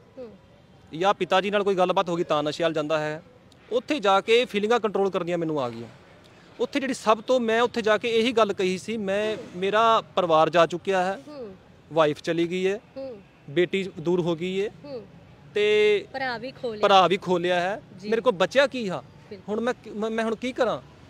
ਤੇ ਉਹਨਾਂ ਮੈਨੂੰ ਇਹੀ ਗੱਲ ਕਹੀ ਸੀ ਵੀ ਜਗਮੀਤ ਹੁਣ ਤੱਕ ਅਬ ਤੱਕ ਜੋ ਬਚਾ ਹੈ ਉਸੇ ਬਚਾਇਆ ਜਾ ਸਕਤਾ ਹੈ। ਜੀ। ਪਿੱਛੇ ਤੇ ਜੋ ਹੋ ਗਿਆ ਹੋ ਗਿਆ। ਹੂੰ। ਪਾਸਟ ਨੂੰ ਅਸੀਂ ਨਹੀਂ ਬਦਲ ਸਕਦੇ ਹੈਗੇ। ਜੀ। ਲੇਕਿਨ ਹੱਲੇ ਤੱਕ ਤੇਰੀ ਜਗਮੀਤ ਜ਼ਿੰਦਗੀ ਬਚੀ ਹੈ। ਨਸ਼ੇ ਦੇ ਕਾਰਨ ਤੇਰੀ ਮੌਤ ਨਹੀਂ ਹੋਈ। ਹੂੰ। ਠੀਕ ਆ? ਤੇ ਦੂਜੀ ਗੱਲ ਹੱਲੇ ਯਾਰ ਤੂੰ ਸੜਕਾਂ ਤੇ ਨਹੀਂ ਆਇਆ ਹੈਗਾ। ਜੀ। ਠੀਕ ਆ? ਤੂੰ ਇੱਥੇ ਸਾਡੇ ਨਾਲ ਜੁੜਿਆ ਰਹੋ। ਤੇ ਤੇਰੀ ਕਦੀ ਵੀ ਅਸੀਂ ਗਾਰੰਟੀ ਦਿੰਨੇ ਆ ਤੂੰ ਸਾਡੇ ਨਾਲ ਜੁੜਿਆ ਰਹੇਗਾ। ਤੂੰ ਕਦੀ ਵੀ ਸੜਕਾਂ ਤੇ ਨਹੀਂ ਆਏਗਾ ਤੇ ਨਸ਼ੇ ਦੇ ਕਾਰਨ ਯਾਰ ਕਦੀ ਵੀ ਤੇਰੀ ਡੈਥ ਨਹੀਂ ਹੋਊਗੀ। ਜੀ। ਤੇ ਉਹ ਚੀਜ਼ ਮੇਰੇ ਦਿਮਾਗ 'ਚ ਕਿਤੇ ਨਾ ਕਿਤੇ ਬੈਠ ਗਈ ਸੀ ਤੇ ਮੇਰੀ ਸ਼ਿਕਾਇਤ ਹੁੰਦੀ ਸੀ ਜੀ। ਵੀ ਮੇਰਾ ਨੁਕਸਾਨ ਹੋ ਗਿਆ ਜੀ। ਮਨ ਦੇ ਵਿੱਚ ਇਹ ਵੀ ਆਇਆ ਕਿ ਜੇ ਸਮਝ ਵੀ ਆਈ ਤਾਂ ਭਰਾ ਨੂੰ ਖੋ ਕੇ ਆਈ। ਭਰਾ ਨੂੰ ਖੋ ਕੇ ਆਈ। ਬਿਲਕੁਲ ਜੀ ਜਦੋਂ ਰੋਕ ਬਟਮ ਹਿੱਟ ਹੁੰਦੇ ਆ ਬੰਦੇ ਦੇ ਕਿਤੇ ਨਾ ਕਿਤੇ ਸੱਟ ਲੱਗਦੀ ਆ। ਉਦੋਂ ਹੀ ਸੋਚਦਾ ਯਾਰ ਮੈਂ ਕਰ ਕੀ ਰਿਹਾ ਵਾਂ। ਜੀ। ਉਦੋਂ ਸਮਝ ਹੁੰਦੀ ਆ ਸੋਝੀ ਕਾਲਪੁਰਖ ਦੇਣ ਵਾਲਾ ਦੇਖੋ ਜੀ ਸਾਰਾ ਕੁਝ ਕਰਨ ਕੋਲ ਉਹ ਵਾ ਤੇ ਉਹਨੇ ਭਰਾ ਨੂੰ ਨਹੀਂ ਬਚਾਇਆ ਗਿਆ ਨਾ ਉਹਦੀ ਰਜਾ ਸੀ ਉਹ ਵੀ ਭਾਣਾ ਸੀ। ਬਿਲਕੁਲ। ਭਾਣਾ ਸਵੀਕਾਰ ਕੀਤਾ ਲੇਕਿਨ ਮੈਨੂੰ ਉਹ ਕੱਢ ਲਿਆ ਆ। ਜੀ। ਮੈਨੂੰ ਉਹਨੇ ਜ਼ਿੰਦਗੀ ਦਿੱਤੀ ਆ ਅਕਾਲ ਪੁਰਖ ਨੇ। ਤੇ ਮੇਰੀ ਅਕਸਰ ਇਹੀ ਮੈਂਬਰਾਂ ਨਾਲ ਗੱਲ ਉੱਥੇ ਮਤਲਬ ਜਿਹੜੇ ਮੇਰੇ ਭਰਾ ਕਲੀਨ ਆ 10 15 ਸਾਲਾਂ ਤੋਂ ਹਨਾ ਉਹਨਾਂ ਨੂੰ ਮੈਂ ਪੁੱਛਦਾ ਹੁੰਦਾ ਸੀ ਜੀ ਮੇਰਾ ਨੁਕਸਾਨ ਹੋ ਗਿਆ ਉਹ ਹੋ ਗਿਆ। ਮੈਨੂੰ ਇਹੀ ਗੱਲ ਕਹਿੰਦੇ ਹੁੰਦੇ ਸੀ। ਬਹੁਤ ਟੁੱਟਿਆ ਹੋਇਆ ਸੀ। ਪਰਿਵਾਰ ਹੈਗਾ ਨਹੀਂ ਯਾਰ ਇਕੱਲਾ ਵਾਂ ਕੀ ਕਰੂੰਗਾ? ਉਹ ਮੈਨੂੰ ਕਹਿੰਦੇ ਹੁੰਦੇ ਸੀ ਜਗਮੀਤ ਯਾਰ ਕੋਈ ਗੱਲ ਨਹੀਂ ਯਾਰ। ਪਰਿਵਾਰ ਵਾਪਸ ਨਹੀਂ ਹੁੰਦਾ ਕੋਈ ਗੱਲ ਨਹੀਂ ਐਡਾ ਵੱਡਾ ਨੁਕਸਾਨ ਨਹੀਂ ਹੈਗਾ ਜ਼ਮੀਨ ਦਾ ਨੁਕਸਾਨ ਨਹੀਂ ਹੈਗਾ ਪੈਸਿਆਂ ਦਾ ਨੁਕਸਾਨ ਨਹੀਂ ਹੈਗਾ। ਕਿਉਂਕਿ ਆਪਾਂ ਕਾਰੋਬਾਰ ਕਰਦੇ ਆ ਨਫਾ ਘਾਟਾ ਤਾਂ ਚੱਲਦਾ ਰਹਿੰਦਾ। ਤੇ ਸਭ ਤੋਂ ਜ਼ਿਆਦਾ ਨੁਕਸਾਨ ਜਗਮੀਤ ਉਦਣ ਹੋ ਜਾਊਗਾ ਜਿੱਦਣ ਤੂੰ ਨਸ਼ਾ ਚੱਕ ਲਿਆ। ਜੀ। ਉਹ ਭਰਾ ਦੀ ਗੱਲ ਕਹੀ ਹੋਈ ਮੇਰੇ ਦਿਮਾਗ ਦੇ ਵਿੱਚ ਅੱਜ ਵੀ ਆ। ਯਾਰ ਸਭ ਤੋਂ ਜ਼ਿਆਦਾ ਮੇਰੇ ਕੋਲ ਇੱਕ ਬੇਸ਼ਕੀਮਤੀ ਚੀਜ਼ ਆ ਸਭ ਤੋਂ ਦੁਨੀਆ ਦੀ ਉਹ ਕੀ ਆ? ਮੇਰੀ ਰਿਕਵਰੀ ਆ। ਕੀ ਬਾਤ ਹੈ। ਜਿਹਦਾ ਮੁੱਲ ਹੀ ਨਹੀਂ ਹੈਗਾ। ਜੀ। ਲੋਕੀ ਤਰ ਕਈਆਂ ਦੇ ਮੈਂ ਸੁਣਦਾ ਹੁੰਦਾ ਸੀ ਕਈ ਮਾਪੇ ਕਹਿੰਦੇ ਕਈ ਸਭ ਭਰਾ ਕਹਿੰਦੇ ਹੁੰਦੇ ਸੀ ਵੀ ਅਸੀਂ ਠੀਕ ਹੋਏ ਤਾਂ ਸਾਡੇ ਮਾਪੇ ਦੁਨੀਆ ਤੋਂ ਚਲੇ ਗਏ। ਮੈਂ ਬੜਾ ਹੀ ਅਕਾਲ ਪੁਰਖ ਦਾ ਸ਼ੁਕਰਗੁਜ਼ਾਰ ਹਾਂ। ਮੇਰੇ ਮਾਪੇ ਨੇ ਮੇਰੀ ਰਿਕਵਰੀ ਦੇਖੀ ਆ। ਜੀ। ਉਹ ਕਹਿੰਦੇ ਕਿੰਨਾ ਟਾਈਮ ਹੋ ਗਿਆ ਤੁਹਾਨੂੰ ਮਿਲਣ ਨਸ਼ਾ ਛੱਡੇ ਨੂੰ? ਮੈਨੂੰ ਪੂਰਾ ਜਿਸ ਬੰਦੇ ਲਈ 1 ਮਿੰਟ ਵੀ ਨਸ਼ੇ ਤੋਂ ਦੂਰ ਰਹਿਣਾ ਔਖਾ ਸੀ ਜੀ। ਅੱਜ ਈਸ਼ਵਰ ਦੀ ਕਿਰਪਾ ਦੇ ਨਾਲ ਪਰਮਾਤਮਾ ਦੀ ਕਿਰਪਾ ਦੇ ਨਾਲ ਅਕਾਲ ਪੁਰਖ ਦੀ ਕਿਰਪਾ ਪੂਰਾ 1 ਸਾਲ ਹੋ ਗਿਆ। ਜੀ ਨਹੀਂ ਨਸ਼ੇ ਦਾ ਸੇਵਨ ਨਹੀਂ ਹੋਇਆ। ਨਾ ਕੋਈ ਨਸ਼ੇ ਦਾ ਸੇਵਨ ਨਹੀਂ ਕੀਤਾ ਹੈਗਾ ਮੈਂ। ਜੀ। ਉਹਦੀ ਅਕਾਲ ਪੁਰਖ ਦੀ ਪੂਰੀ ਮਿਹਰ ਆ। ਕਿੰਨਾ ਟਾਈਮ ਮੀਟਿੰਗ ਲਈਆਂ ਤੁਸੀਂ ਜਿਹਦੇ ਨਾਲ ਤੁਹਾਡੀ ਜ਼ਿੰਦਗੀ 'ਚ ਚੇਂਜਮੈਂਟ ਆਈ ਔਰ ਨਸ਼ੇ ਤੋਂ ਦੂਰ ਹੁੰਦੇ ਗਏ? ਦੇਖੋ ਜੀ ਮੀਟਿੰਗਾਂ ਹੁੰਦੀਆਂ ਜੀ ਆਨਲਾਈਨ ਮੀਟਿੰਗਾਂ ਵੀ ਹੁੰਦੀਆਂ ਵਾ ਹਨਾ? ਜੀ। ਤੇ ਫਿਜ਼ੀਕਲ ਮੀਟਿੰਗਾਂ ਵੀ ਹੁੰਦੀਆਂ ਵਾ। ਜੀ। ਫਿਜ਼ੀਕਲ ਮੀਟਿੰਗ ਸਾਡੇ ਕਰਨਾਲ ਸ਼ਹਿਰ ਦੇ ਵਿੱਚ ਸਿਵਲ ਹਸਪੀਟਲ ਜਿਹੜਾ ਪੁਰਾਣਾ ਹਸਪੀਟਲ ਏ ਉੱਥੇ ਬੁੱਧਵਾਰ ਨੂੰ ਸਵੇਰੇ 10:30 ਤੋਂ 12 ਵਜੇ ਤੱਕ ਹੁੰਦੀ ਆ। ਜੀ। ਠੀਕ ਆ ਜੀ? ਤੇ ਇਹੀ ਬਸ ਤੇ ਜਿਹੜੇ ਵੀ ਭਰਾ ਇਹ ਚੀਜ਼ 'ਚ ਫਸੇ ਹੋਏ ਆ ਕਿਉਂਕਿ ਮੇਰੇ ਪਿਤਾ ਜੀ ਦੀ ਇੱਕ ਵਰਡਿੰਗ ਹੁੰਦੀ ਕਰਦੀ ਸੀ ਲਾਈਨ ਕਹਿੰਦੇ ਹੁੰਦੇ ਸੀ ਵੀ ਜਗਮੀਤ ਜਿਸ ਤਰ੍ਹਾਂ ਭਗਵਾਨ ਸ਼ਿਵ ਜੀ ਨੇ ਗਣੇਸ਼ ਜੀ ਦਾ ਸਿਰ ਵੱਢਿਆ ਸੀ ਦੂਜਾ ਲਾਇਆ ਸੀ ਨਾ ਉਸੇ ਹੀ ਤਰ੍ਹਾਂ ਤੇਰਾ ਦੁਬਾਰਾ ਸਿਰ ਵੱਢ ਕੇ ਦੂਜਾ ਲੱਗੇ ਹੋ ਸਕਦਾ ਹੈ ਤੂੰ ਨਸ਼ਾ ਛੱਡ ਜੇ। ਤੂੰ ਉਂਝ ਨਸ਼ਾ ਨਹੀਂ ਛੱਡ ਸਕਦਾ ਹੈਗਾ। ਤੇ ਮੇਰਾ ਵੀ ਇਦਾਂ ਹੀ ਫੀਲਿੰਗ ਹੁੰਦੀ ਸੀ। ਮੈਂ ਇੱਥੇ ਸਾਈਕੈਟ੍ਰਿਸਟ ਹੁੰਦੇ ਆ ਸਾਡੇ ਇੱਥੇ ਇੱਕ ਮੈਂ ਇਹਨਾਂ ਕੋਲ ਆਇਆ ਤੇ ਮੈਂ ਕਹਿਣ ਲੱਗਾ ਜੀ ਤੁਸੀਂ ਗਜਨੀ ਫਿਲਮ ਦੇਖੀ ਆ? ਕਹਿਣ ਲੱਗੇ ਜੀ ਦੇਖੀ ਆ। ਮੈਂ ਕਿਹਾ ਜਿੱਦਾਂ ਉਹਦੇ ਵਿੱਚ ਅਮੀਰ ਖਾਨ ਦੀ ਮੈਮਰੀ ਲੋਸ ਹੋ ਜਾਂਦੀ ਆ ਮੇਰੀ ਮੈਮਰੀ ਲੋਸ ਕਰ ਦਿਓ ਕਹਿੰਦੇ ਕਿਉਂ? ਮੈਂ ਕਿਹਾ ਜੀ ਹੋ ਸਕਦਾ ਮੇਰੇ ਚੋਂ ਨਸ਼ੇ ਦਾ ਵਿਚਾਰ ਚਲਾ ਜਾਏ। ਮਤਲਬ ਆਪਣੇ ਆਪ ਨੂੰ ਇੱਥੋਂ ਤੱਕ ਲੈ ਗਏ ਕਿ ਮੇਰੀ ਮੈਮਰੀ ਲਾਸ ਕਰ ਦੋ। ਤਾਂ ਮੈਂ ਨਸ਼ਾ ਛੱਡ ਦੂੰਗਾ। ਇਦਾਂ ਮੈਨੂੰ ਨਹੀਂ ਲੱਗਦਾ ਵੀ ਮੈਂ ਛੱਡ ਸਕਦਾ। ਹਾਂ। ਕਿਉਂਕਿ ਇੱਕ ਬਿਮਾਰੀ ਆ ਨਾ ਆਦਤ ਹੁੰਦੀ ਤੇ ਮੈਂ ਛੱਡ ਸਕਦਾ ਹੈਗਾ। ਹੂੰ। ਹੁਣ ਕਾਫੀ ਮੈਂ। ਹਾਂਜੀ ਕਈ ਕਈ ਮੈਂ ਇੰਟਰੋ ਸੁਣਦਾ ਹੈਗਾ ਜੀ ਬਈ ਅਸੀਂ ਛੱਡ ਗਏ ਚਲੋ ਉਹਨਾਂ ਦੀ ਹਿੰਮਤ ਆ ਆਪਣੇ ਦਮ ਤੇ ਛੱਡਿਆ ਵਾ। ਲੇਕਿਨ ਜੇ ਬਿਨਾਂ ਧੱਕੇ ਲੱਗੇ ਤਾਂ ਮੈਨੂੰ ਨਹੀਂ ਲੱਗਦਾ ਕਿ ਕੋਈ ਨਸ਼ਾ ਛੱਡ ਨਸ਼ਾ ਛੱਡ ਦਿੰਦਾ ਬਿਨਾਂ ਧੱਕੇ ਤੋਂ। ਵੱਡਾ ਜਦੋਂ ਲਾਸ ਹੁੰਦਾ ਆ ਤਾਂ ਫੇਰ ਮੋੜਾ ਪੈਂਦਾ ਹੈ ਫਿਰ ਮੋੜਾ ਪੈਂਦਾ ਹੈ। ਇਸ ਕਰਕੇ ਮੈਂ ਇਹੀ ਗੱਲ ਕਹੂੰਗਾ ਵੀ ਮੈਂ ਕੋਈ ਆਪਣੇ ਆਪ ਨੂੰ ਹੀਰੋ ਬਣਾ ਕੇ ਪੇਸ਼ ਨਹੀਂ ਕਰ ਰਿਹਾ। ਵੀ ਮੈਂ ਛੱਡਿਆ ਕਿਉਂਕਿ ਇਹ ਜਦੋਂ ਬਿਮਾਰੀ ਦਾ ਇਲਾਜ ਤੇ ਡਾਕਟਰ ਕਰੂਗਾ ਜਾਂ ਪਰਮਾਤਮਾ ਕਰੂਗਾ। ਮੈਂ ਅੱਜ ਤੁਹਾਡੇ ਵਿੱਚ ਬੈਠਾ ਵਾਂ ਕਲੀਨ ਆ ਤੇ ਉਹ ਪਰਮਾਤਮਾ ਦੀ ਕਿਰਪਾ ਵਾ। ਅਕਾਲ ਪੁਰਖ ਨੇ ਮੈਨੂੰ ਨਸ਼ੇ ਤੋਂ ਦੂਰ ਕੀਤਾ ਹੋਇਆ ਵਾ। ਜੀ। ਤੇ ਠੀਕ ਆ ਜੀ। ਤੇ ਇਹੀ ਆ ਜੀ ਨੌਜਵਾਨਾਂ ਨੂੰ ਬਸ ਤੁਹਾਡੇ 'ਚ ਇੱਕ ਵਿਲਿੰਗ ਹੋਣੀ ਚਾਹੀਦੀ ਆ ਬਾਕੀ ਕੰਮ ਜੀ। ਪਰਮਾਤਮਾ ਤੇ ਵੇ। ਜਗਮੀਤ ਫਿਰ ਪਹਿਲਾਂ ਦੀ ਜ਼ਿੰਦਗੀ ਤੇ ਹੁਣ ਦੀ ਜ਼ਿੰਦਗੀ ਦੇ ਵਿੱਚ ਕਿੰਨਾ ਕੁ ਬਦਲਾਵ ਦੇਖਦੇ ਹੋ? ਪਰਿਵਾਰ ਦੇ ਵਿੱਚ ਹੁਣ ਕਿਵੇਂ ਦਾ ਮਾਹੌਲ ਲੋਕ ਤੁਹਾਨੂੰ ਕਿਵੇਂ ਦੇਖਦੇ ਨੇ ਹੁਣ? ਹੁਣ ਜੀ ਉਹ ਕਹਿੰਦੇ ਹੁੰਦੇ ਆ ਵੀ ਹੌਲੀ ਹੌਲੀ ਬੰਦਾ ਸਮਾਜ 'ਚ ਵੀ ਜਦੋਂ ਆਪਣੇ ਆਪ ਨਾਲ ਜੁੜਨਾ ਸ਼ੁਰੂ ਹੁੰਦਾ ਹੈ ਨਸ਼ਾ ਹਮੇਸ਼ਾ ਬੰਦਾ ਉਦੋਂ ਛੱਡਦਾ ਹੈ ਜਦੋਂ ਆਪਣੇ ਆਪ ਨਾਲ ਪਿਆਰ ਕਰਨਾ ਸਿੱਖਦਾ ਹੈ। ਜੀ ਕਿਉਂਕਿ ਪਰਮਾਤਮਾ ਦਾ ਦਿੱਤਾ ਸਰੀਰ ਹੈ ਦਿੱਤਾ ਤੇ ਜੇ ਤੁਸੀਂ ਉਹਨੂੰ ਪਿਆਰ ਕਰੋਗੇ ਤਾਂ ਹੀ ਲੋਕ ਤੁਹਾਨੂੰ ਹਾਂ ਉਹਨੂੰ ਸਰੀਰ ਨੂੰ ਟੌਰਚਰ ਕਰਨਾ ਸੂਈਆਂ ਲਗਾਣੀਆਂ ਜੀ। ਤੇ ਉਹ ਕਿਤੇ ਨਾ ਕਿਤੇ ਹਰੈਸਮੈਂਟ ਕਰਨਾ ਆਪਣੇ ਆਪ ਨੂੰ। ਉਹ ਤਾਂ ਜਦੋਂ ਜਦੋਂ ਵੀ ਬੰਦਾ ਕੋਈ ਦੂਜੇ ਲਈ ਨਸ਼ਾ ਛੱਡਦਾ ਹੈਗਾ ਉਹ ਨਸ਼ਾ ਨਹੀਂ ਛੱਡ ਸਕਦਾ ਹੈਗਾ। ਜਦੋਂ ਉਹ ਆਪਣੇ ਆਪ ਨੂੰ ਪਿਆਰ ਕਰੂਗਾ ਵੀ ਮੈਂ ਜੀਣਾ ਹੈਗਾ ਹੂੰ। ਇੱਥੇ ਸਮਾਜ 'ਚ ਵਿਚਰਨਾ ਹੈਗਾ ਮਾਪਿਓ ਹੈਗੇ ਆ ਮੇਰੇ ਮੇਰੇ ਵਾਈਫ ਆ ਬੱਚੀ ਆ ਬੇਟੇ ਆ ਉਹਨਾਂ ਦੀ ਰਿਸਪੌਂਸਿਬਿਲਟੀ ਹੈਗੀ ਆ ਹਨਾ? ਜਦੋਂ ਵੀ ਬੰਦਾ ਆਪਣੇ ਲਈ ਨਸ਼ਾ ਛੱਡੂਗਾ ਉਦੋਂ ਨਸ਼ਾ ਛੱਡਦਾ ਹੈਗਾ। ਤੇ ਉਦੋਂ ਬਾਅਦ ਜਿਵੇਂ ਮੈਂ ਹੌਲੀ ਹੌਲੀ ਹਨਾ ਜਿਵੇਂ ਮੈਂ ਪ੍ਰਮਾਤਮਾ ਦੀ ਕਿਰਪਾ ਨਾਲ ਜਿਵੇਂ ਰਿਕਵਰ ਹੁੰਦਾ ਗਿਆ। ਜੀ। ਤੇ ਕੱਲ ਇੱਥੇ ਆਪਣਾ ਰੈਲੀ ਕੱਢੀ ਗਈ ਸੀ ਕਰਨਾਲ ਪ੍ਰਸ਼ਾਸਨ ਦੇ ਦੁਆਰਾ। ਜੀ। ਤੇ ਉਹ ਨਸ਼ੇੜੀ ਨੂੰ ਮੇਰੇ ਵਰਗੇ ਨੂੰ ਜਿਹਨੇ ਕੋਈ ਕੋਲ ਵੀ ਨਹੀਂ ਸੀ ਪਾਉਂਦਾ ਹੁੰਦਾ ਜੀ। ਮੈਨੂੰ ਪ੍ਰਸ਼ਾਸਨ ਦਾ ਫੋਨ ਜਾਂਦਾ ਹੈਗਾ ਘਰ। ਜੀ। ਵੀ ਜਗਮੀਤ ਜੀ ਤੁਸੀਂ ਆਓ ਹਾਂ। ਤੇ ਤੁਸੀਂ ਹੋਪ ਦਿਓ। ਜਿਹੜੇ ਇਹ ਉਹਦੇ ਵਿੱਚ ਫਸੇ ਹੋਏ ਆ ਨੌਜਵਾਨ ਨਸ਼ਾ ਕਰ ਰਹੇ ਆ ਤਾਂ ਕਿ ਉਹਨਾਂ ਨੂੰ ਹੋਪ ਮਿਲੇ ਉਹ ਵੀ ਨਿਕਲ ਸਕਣ। ਮੈਂ ਕਿਹਾ ਜੀ ਇਹ ਕੰਮ ਵਾਸਤੇ ਮੈਂ ਜ਼ਰੂਰ ਹਾਜ਼ਰ ਹੋਊਂਗਾ ਹਨਾ? ਤਾਂ ਕਿ ਚਲੋ ਮੇਰਾ ਤੇ ਘਰ ਚਲੋ ਉਜੜ ਗਿਆ ਜੋ ਹੋ ਗਿਆ ਹੋ ਗਿਆ। ਲੇਕਿਨ ਕਿਸੇ ਹੋਰ ਦਾ ਘਰ ਨਾ ਉਜੜੇ ਜਿੰਨਾ ਮੇਰੇ ਤੋਂ ਈਸ਼ਵਰ ਮੇਰੇ ਤੋਂ ਮੇਰੇ ਪਰਮਾਤਮਾ ਮੇਰੀ ਮਦਦ ਮੇਰੇ ਤੋਂ ਮਦਦ ਕਰ- ਕਰਾਣੀ ਚਾਹੇ ਮੈਂ ਜ਼ਰੂਰ ਕਰੂੰਗਾ। ਤੇ ਉੱਥੇ ਜਿਹੜੇ ਵੱਡੇ ਵੱਡੇ ਲੈਵਲ ਦੇ ਆਪਣਾ ਆਫੀਸਰ ਆ ਡਾਕਟਰ ਸਾਹਿਬ ਆ ਐਮਬੀਬੀਐਸ ਵੱਡੇ ਵੱਡੇ ਸੀਐਮਓ ਤੱਕ ਉਹਨਾਂ ਨੇ ਮੇਰੇ ਨਾਲ ਹੱਥ ਮਿਲਾਇਆ। ਮੇਰੇ ਨਾਲ ਬੈਠ ਕੇ ਆਪਣਾ ਚਾਹ ਵੀ ਪੀਤੀ ਹੈਗੀ ਮੇਰੇ ਨਾਲ ਬੈਠ ਕੇ। ਕਿਤੇ ਨਾ ਕਿਤੇ ਮੈਨੂੰ ਬੜਾ ਹੀ ਪ੍ਰਾਊਡ ਫੀਲ ਹੋਇਆ ਯਾਰ ਕਮਾਲ ਹੈ ਇਹ ਪਰਮਾਤਮਾ ਦਾ ਮੈਂ ਕਰੋੜਾ ਵਾਰ ਧੰਨਵਾਦ ਕੀਤਾ। ਵੀ ਜਿਹੜਾ ਨਸ਼ੇੜੀ ਇੱਥੇ ਨਿਰਮਲ ਕੁਟੀਆ ਦੇ ਬਾਹਰ ਉੱਥੇ ਪਾਰਕ ਹੈ ਉੱਥੇ ਪਿਆ ਹੁੰਦਾ ਸੀ। ਜੀ। ਤੇ ਕੋਈ ਲਾਗੇ ਵੀ ਨਹੀਂ ਸੀ ਬਿਠਾਉਂਦਾ ਹੈਗਾ। ਅੱਜ ਇੱਕ ਇੰਨੇ ਵੱਡੇ ਲੈਵਲ ਦਾ ਆਫੀਸਰ ਮੇਰੇ ਨਾਲ ਬੈਠ ਕੇ ਚਾਹ ਪੀ ਰਿਹਾ ਤੇ ਗੱਲ ਕਰ ਰਿਹਾ। ਜੀ। ਸਮਾਜ ਨੇ ਇੰਨਾ ਅਸੈਪਟ ਕੀਤਾ ਵਾ। ਜਗਮੀਤ ਜੀ ਅਸੀਂ ਵੀ ਜਾਣਨਾ ਚਾਹੁੰਦੇ ਤੁਸੀਂ ਹਰਿਆਣੇ ਦੇ ਵਿੱਚ ਰਹਿ ਰਹੇ ਹੋ। ਤੁਸੀਂ ਦੇਖ ਸਕਦੇ ਹੋ ਪੰਜਾਬ ਦੇ ਵਿੱਚ ਆਏ ਦਿਨ ਕੋਈ ਨਾ ਕੋਈ ਨੌਜਵਾਨ ਸਰੇਂਜ ਲਾ ਕੇ ਕੋਈ ਨਸ਼ਾ ਕਰਕੇ ਸੜਕਾਂ ਤੇ ਮਰਿਆ ਪਿਆ ਮਿਲਦਾ ਹੈ ਹਾਂਜੀ। ਪਰ ਹਰਿਆਣੇ ਦੇ ਵਿੱਚ ਅਸੀਂ ਗੱਲ ਕਰਦੇ ਪੰਜਾਬ ਵਿੱਚ ਕਿਤੇ ਨਾ ਕਿਹਾ ਜਾਂਦਾ ਹੈ ਕਿ ਸਿਖਰਾਂ ਤੇ ਨਸ਼ਾ ਜਿਹੜਾ ਉਹ ਚੱਲ ਰਿਹਾ। ਹਰਿਆਣੇ ਦੇ ਵਿੱਚ ਕਿੰਨਾ ਕੁ ਹੈਗਾ ਆ। ਹਰਿਆਣੇ ਦੇ ਵਿੱਚ ਕੀ ਵਕਤ ਆਪਾਂ ਕਹਿ ਸਕਦੇ ਆ ਹਾਲਾਤ ਹੈਗੇ। ਇਹ ਜਿਹੜੀ ਨਸ਼ੇ ਦੀ ਪ੍ਰਸਥਿਤੀ ਆ ਇਹ ਕੋਈ 19 21 ਦਾ ਹੀ ਫ਼ਰਕ ਹੋਊਗਾ ਜ਼ਿਆਦਾ ਫ਼ਰਕ ਨਹੀਂ ਹੈਗਾ। ਜੀ। ਪੰਜਾਬ ਤੇ ਹਰਿਆਣਾ ਜੇ ਆਪਾਂ ਇਹ ਗੱਲ ਕਹਿ ਦਈਏ ਵੀ ਹਰਿਆਣਾ ਬਿਲਕੁਲ ਕਲੀਨ ਆ ਐਸੀ ਗੱਲ ਨਹੀਂ ਹੈਗੀ। ਪਿੰਡਾਂ ਪਿੰਡਾਂ 'ਚ ਨਸ਼ਾ ਨਸ਼ਾ ਪਸਰ ਰਿਹਾ ਵਾ। ਜੀ। ਠੀਕ ਆ ਜੀ? ਜਿਵੇਂ ਤੁਸੀਂ ਹੁਣ ਜਿਹੜੇ ਆਪਣੇ ਆ ਨੀਸੰਗ ਹੋ ਗਿਆ ਜਲਮਾਣਾ ਹੋ ਗਿਆ ਅਸੰਧ ਹੋ ਗਿਆ। ਜੀ। ਇੱਥੇ ਹੱਲੇ ਇੰਜੈਕਸ਼ਨਾਂ ਦਾ ਪੀਰੀਅਡ ਵੀ ਹੁਣ ਸ਼ੁਰੂ ਹੋ ਗਿਆ ਵਾ। ਜਿਹੜਾ ਪੰਜਾਬ 'ਚ ਮੌਤਾਂ ਦਾ ਕਾਰਨ ਆ ਜੀ ਉਹ ਇਹੀ ਆ ਉੱਥੇ ਇੰਜੈਕਸ਼ਨ ਪੀਰੀਅਡ ਜ਼ਿਆਦਾ ਵਾ ਮਤਲਬ ਇੰਜੈਕਸ਼ਨ ਦਾ ਦੌਰ ਜ਼ਿਆਦਾ ਵਾ ਇੰਜੈਕਟ ਕਰਦੇ ਆ ਨੌਜਵਾਨ ਤੇ ਓਵਰਡੋਜ਼ ਹੋ ਕੇ ਡੈਥ ਹੋ ਜਾਂਦੀ ਆ। ਇਸ ਕਰਕੇ ਉੱਥੋਂ ਦਾ ਡੈਥ ਰੇਟ ਜ਼ਿਆਦਾ ਹੁੰਦਾ ਪਿਆ। ਇੱਥੇ ਹੱਲੇ ਜਿਹੜੇ ਨੌਜਵਾਨ ਆ ਉਹ ਪੀਂਦੇ ਆ ਜੀ ਜਿਵੇਂ ਸਮੈਕ ਹੋ ਗਈ ਚਿੱਟਾ ਹੋ ਗਈ ਪੰਨੀ ਤੇ। ਇਸ ਕਰਕੇ ਉਹਦਾ ਡੈਥ ਰੇਟ ਤਾਂ ਘੱਟ ਆ ਲੇਕਿਨ ਉਹ ਰੋਜ਼ ਮਰ ਰਹੇ ਆ। ਜੀ। ਇੱਕ ਉਹ ਤੇ ਇੱਕ ਤਾਂ ਮੌਤ ਹੋ ਜਾਣੀ। ਔਰ ਇੱਕ ਮਿੰਟ ਮਿੰਟ ਬਾਅਦ ਮੌਤ ਮਰਨਾ ਇਹ ਬਹੁਤ ਵੱਡੀ ਇਹ ਬਹੁਤ ਵੱਡੀ ਇੱਕ ਤਰਾਸਦੀ ਕਹਿ ਜੀ। ਵੀ ਰੋਜ਼ ਮਰਨਾ। ਇੱਕ ਤੇ ਜਿਹੜਾ ਮਰ ਗਿਆ ਬੰਦਾ ਉਹ ਤੇ ਛੁੱਟ ਗਿਆ। ਜਿਹੜਾ ਰੋਜ਼ ਹੀ ਮਰ ਰਿਹਾ ਹੂੰ ਆਪਣੇ ਪਰਿਵਾਰ ਨੂੰ ਵੀ ਦੁੱਖ ਦੇ ਰਿਹਾ ਹੈ ਖੁਦ ਵੀ ਪੀੜਾ ਦੇ ਵਿੱਚ ਹੈਗਾ ਪੇਨ ਦੇ ਵਿੱਚ ਹੈਗਾ ਉਹ ਜਿਹੜੀ ਮੌਤ ਹੈ ਨਾ ਉਹ ਜਿਹੜੀ ਜ਼ਿੰਦਗੀ ਜੀ ਰਿਹਾ ਉਹ ਬੜੀ ਖਤਰਨਾਕ ਆ। ਜੀ। ਠੀਕ ਆ? ਇਸ ਲਈ ਇੱਥੇ ਹਰਿਆਣੇ ਦੇ ਵਿੱਚ ਵੀ ਕਾਫੀ ਆ ਨਸ਼ਾ।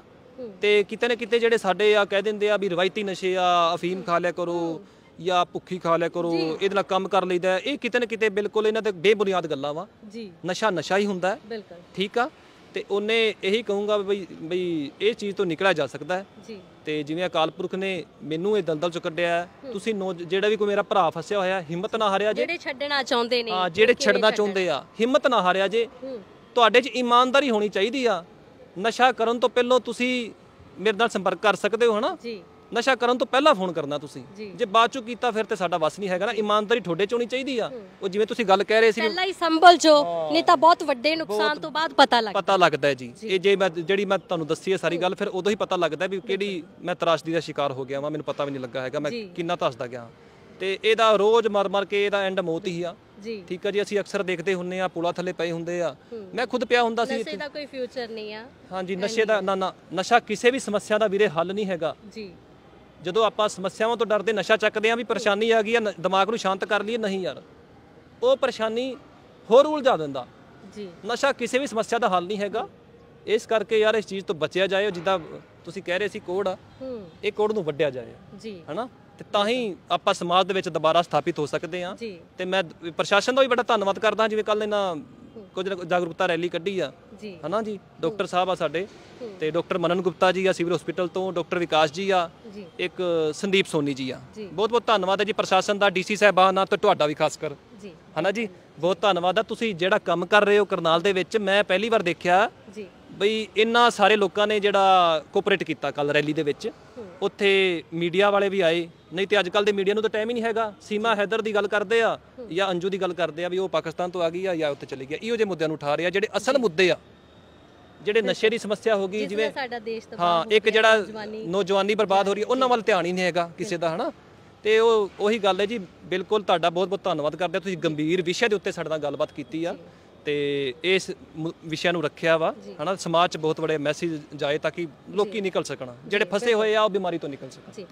ਸੋ ਦਰਸ਼ਕੋ ਸਾਡਾ ਮਕਸਦ ਵੀ ਜਗਮੀਤ ਨੇ ਨਾਲ ਗੱਲਬਾਤ ਕਰਨਾ ਸੀ ਕਿ ਕਿਸ ਤਰ੍ਹਾਂ ਇਹਨਾਂ ਨੇ ਆਪਣੀ ਜ਼ਿੰਦਗੀ ਨੂੰ ਮੋੜਾ ਪਾਇਆ ਉਹਨਾਂ ਨਸ਼ਿਆਂ ਚੋਂ ਨਿਕਲ ਕੇ ਅੱਜ ਵਧੀਆ ਆਪਣੀ ਜ਼ਿੰਦਗੀ ਜੀ ਰਹੇ ਨੇ। ਅਸ- ਉਹਨਾਂ ਨੌਜਵਾਨਾਂ ਲਈ ਵੀ ਆਸ ਕਰਦੇ ਆ ਕਿ ਇਹਨਾਂ ਦਾ ਜੀਵਨ ਦੇਖ ਕੇ ਉਹਨਾਂ ਦਾ ਵੀ ਜੀਵਨ ਬਦਲ ਸਕੇ ਕਿਉਂਕਿ ਨਸ਼ੇ ਦਾ ਅੰਤ ਨਹੀਂ ਨਸ਼ੇ ਦਾ ਅੰਤ ਮੌਤ ਹੀ ਹੈ। ਕੋਈ ਫਿਊਚਰ ਨਹੀਂ ਤੁਹਾਡਾ ਬਣਦਾ ਜ਼ਿੰਦਗੀ 'ਚ, ਬਹੁਤ ਕੁਝ ਖੋ ਲੈਂਦੇ ਹੋ ਤੁਸੀਂ। ਪਰ ਪਤਾ ਸਾਨੂੰ ਉਦੋਂ ਚੱਲਦਾ ਜਦੋਂ ਸਾਡੇ ਹੱਥੋਂ ਸਾਰਾ ਕੁਝ ਖੁੱਸ ਜਾਂਦਾ। ਮੌਕਾ ਤੁਹਾਡੇ ਕੋਲ ਹੈ, ਤੁਸੀਂ ਆਪਣੀ ਜ਼ਿੰਦਗੀ ਨੂੰ ਬਦਲਣਾ ਹੈ ਵੀ ਕਿਸ ਤਰ੍ਹਾਂ ਨਸ਼ੇ ਦੇ ਵਿੱਚ ਜਾਣਾ ਹੈ ਜਾਂ ਨਸ਼ੇ ਤੋਂ ਬਾਹਰ ਨਿਕਲ ਕੇ ਆਪਣੇ ਪਰਿਵਾਰ ਨੂੰ, ਆਪਣੇ ਦੇਸ਼ ਨੂੰ ਬਚਾਉਣਾ ਸੋ ਅੱਜ ਤੁਸੀਂ ਦੇਖਿਆ ਕਿ ਕਿਸ ਤਰ੍ਹਾਂ ਮਾਪੇ ਤਾਂ ਕਲਪਦੇ ਨੇ, ਪਰ ਤੁਹਾਡੀ ਆਪਣੀ ਜ਼ਿੰਦਗੀ ਵੀ ਖਰਾਬ ਹੁੰਦੀ ਹੈ। ਜੁੜੇ ਰਹੋ ਰੋਜ਼ਾਨਾ ਸਪੋਕਸਮੈਨ ਦੇ ਇਦਾਂ ਹੀ ਨਸ਼ਿਆਂ ਵਿਰੁੱਧ ਆਵਾਜ਼ ਉਠਾਉਂਦੇ ਰਾਂਗੇ ਤਦ ਤੱਕ ਲਈ ਇਜਾਜ਼ਤ ਦਿਓ। ਧੰਨਵਾਦ।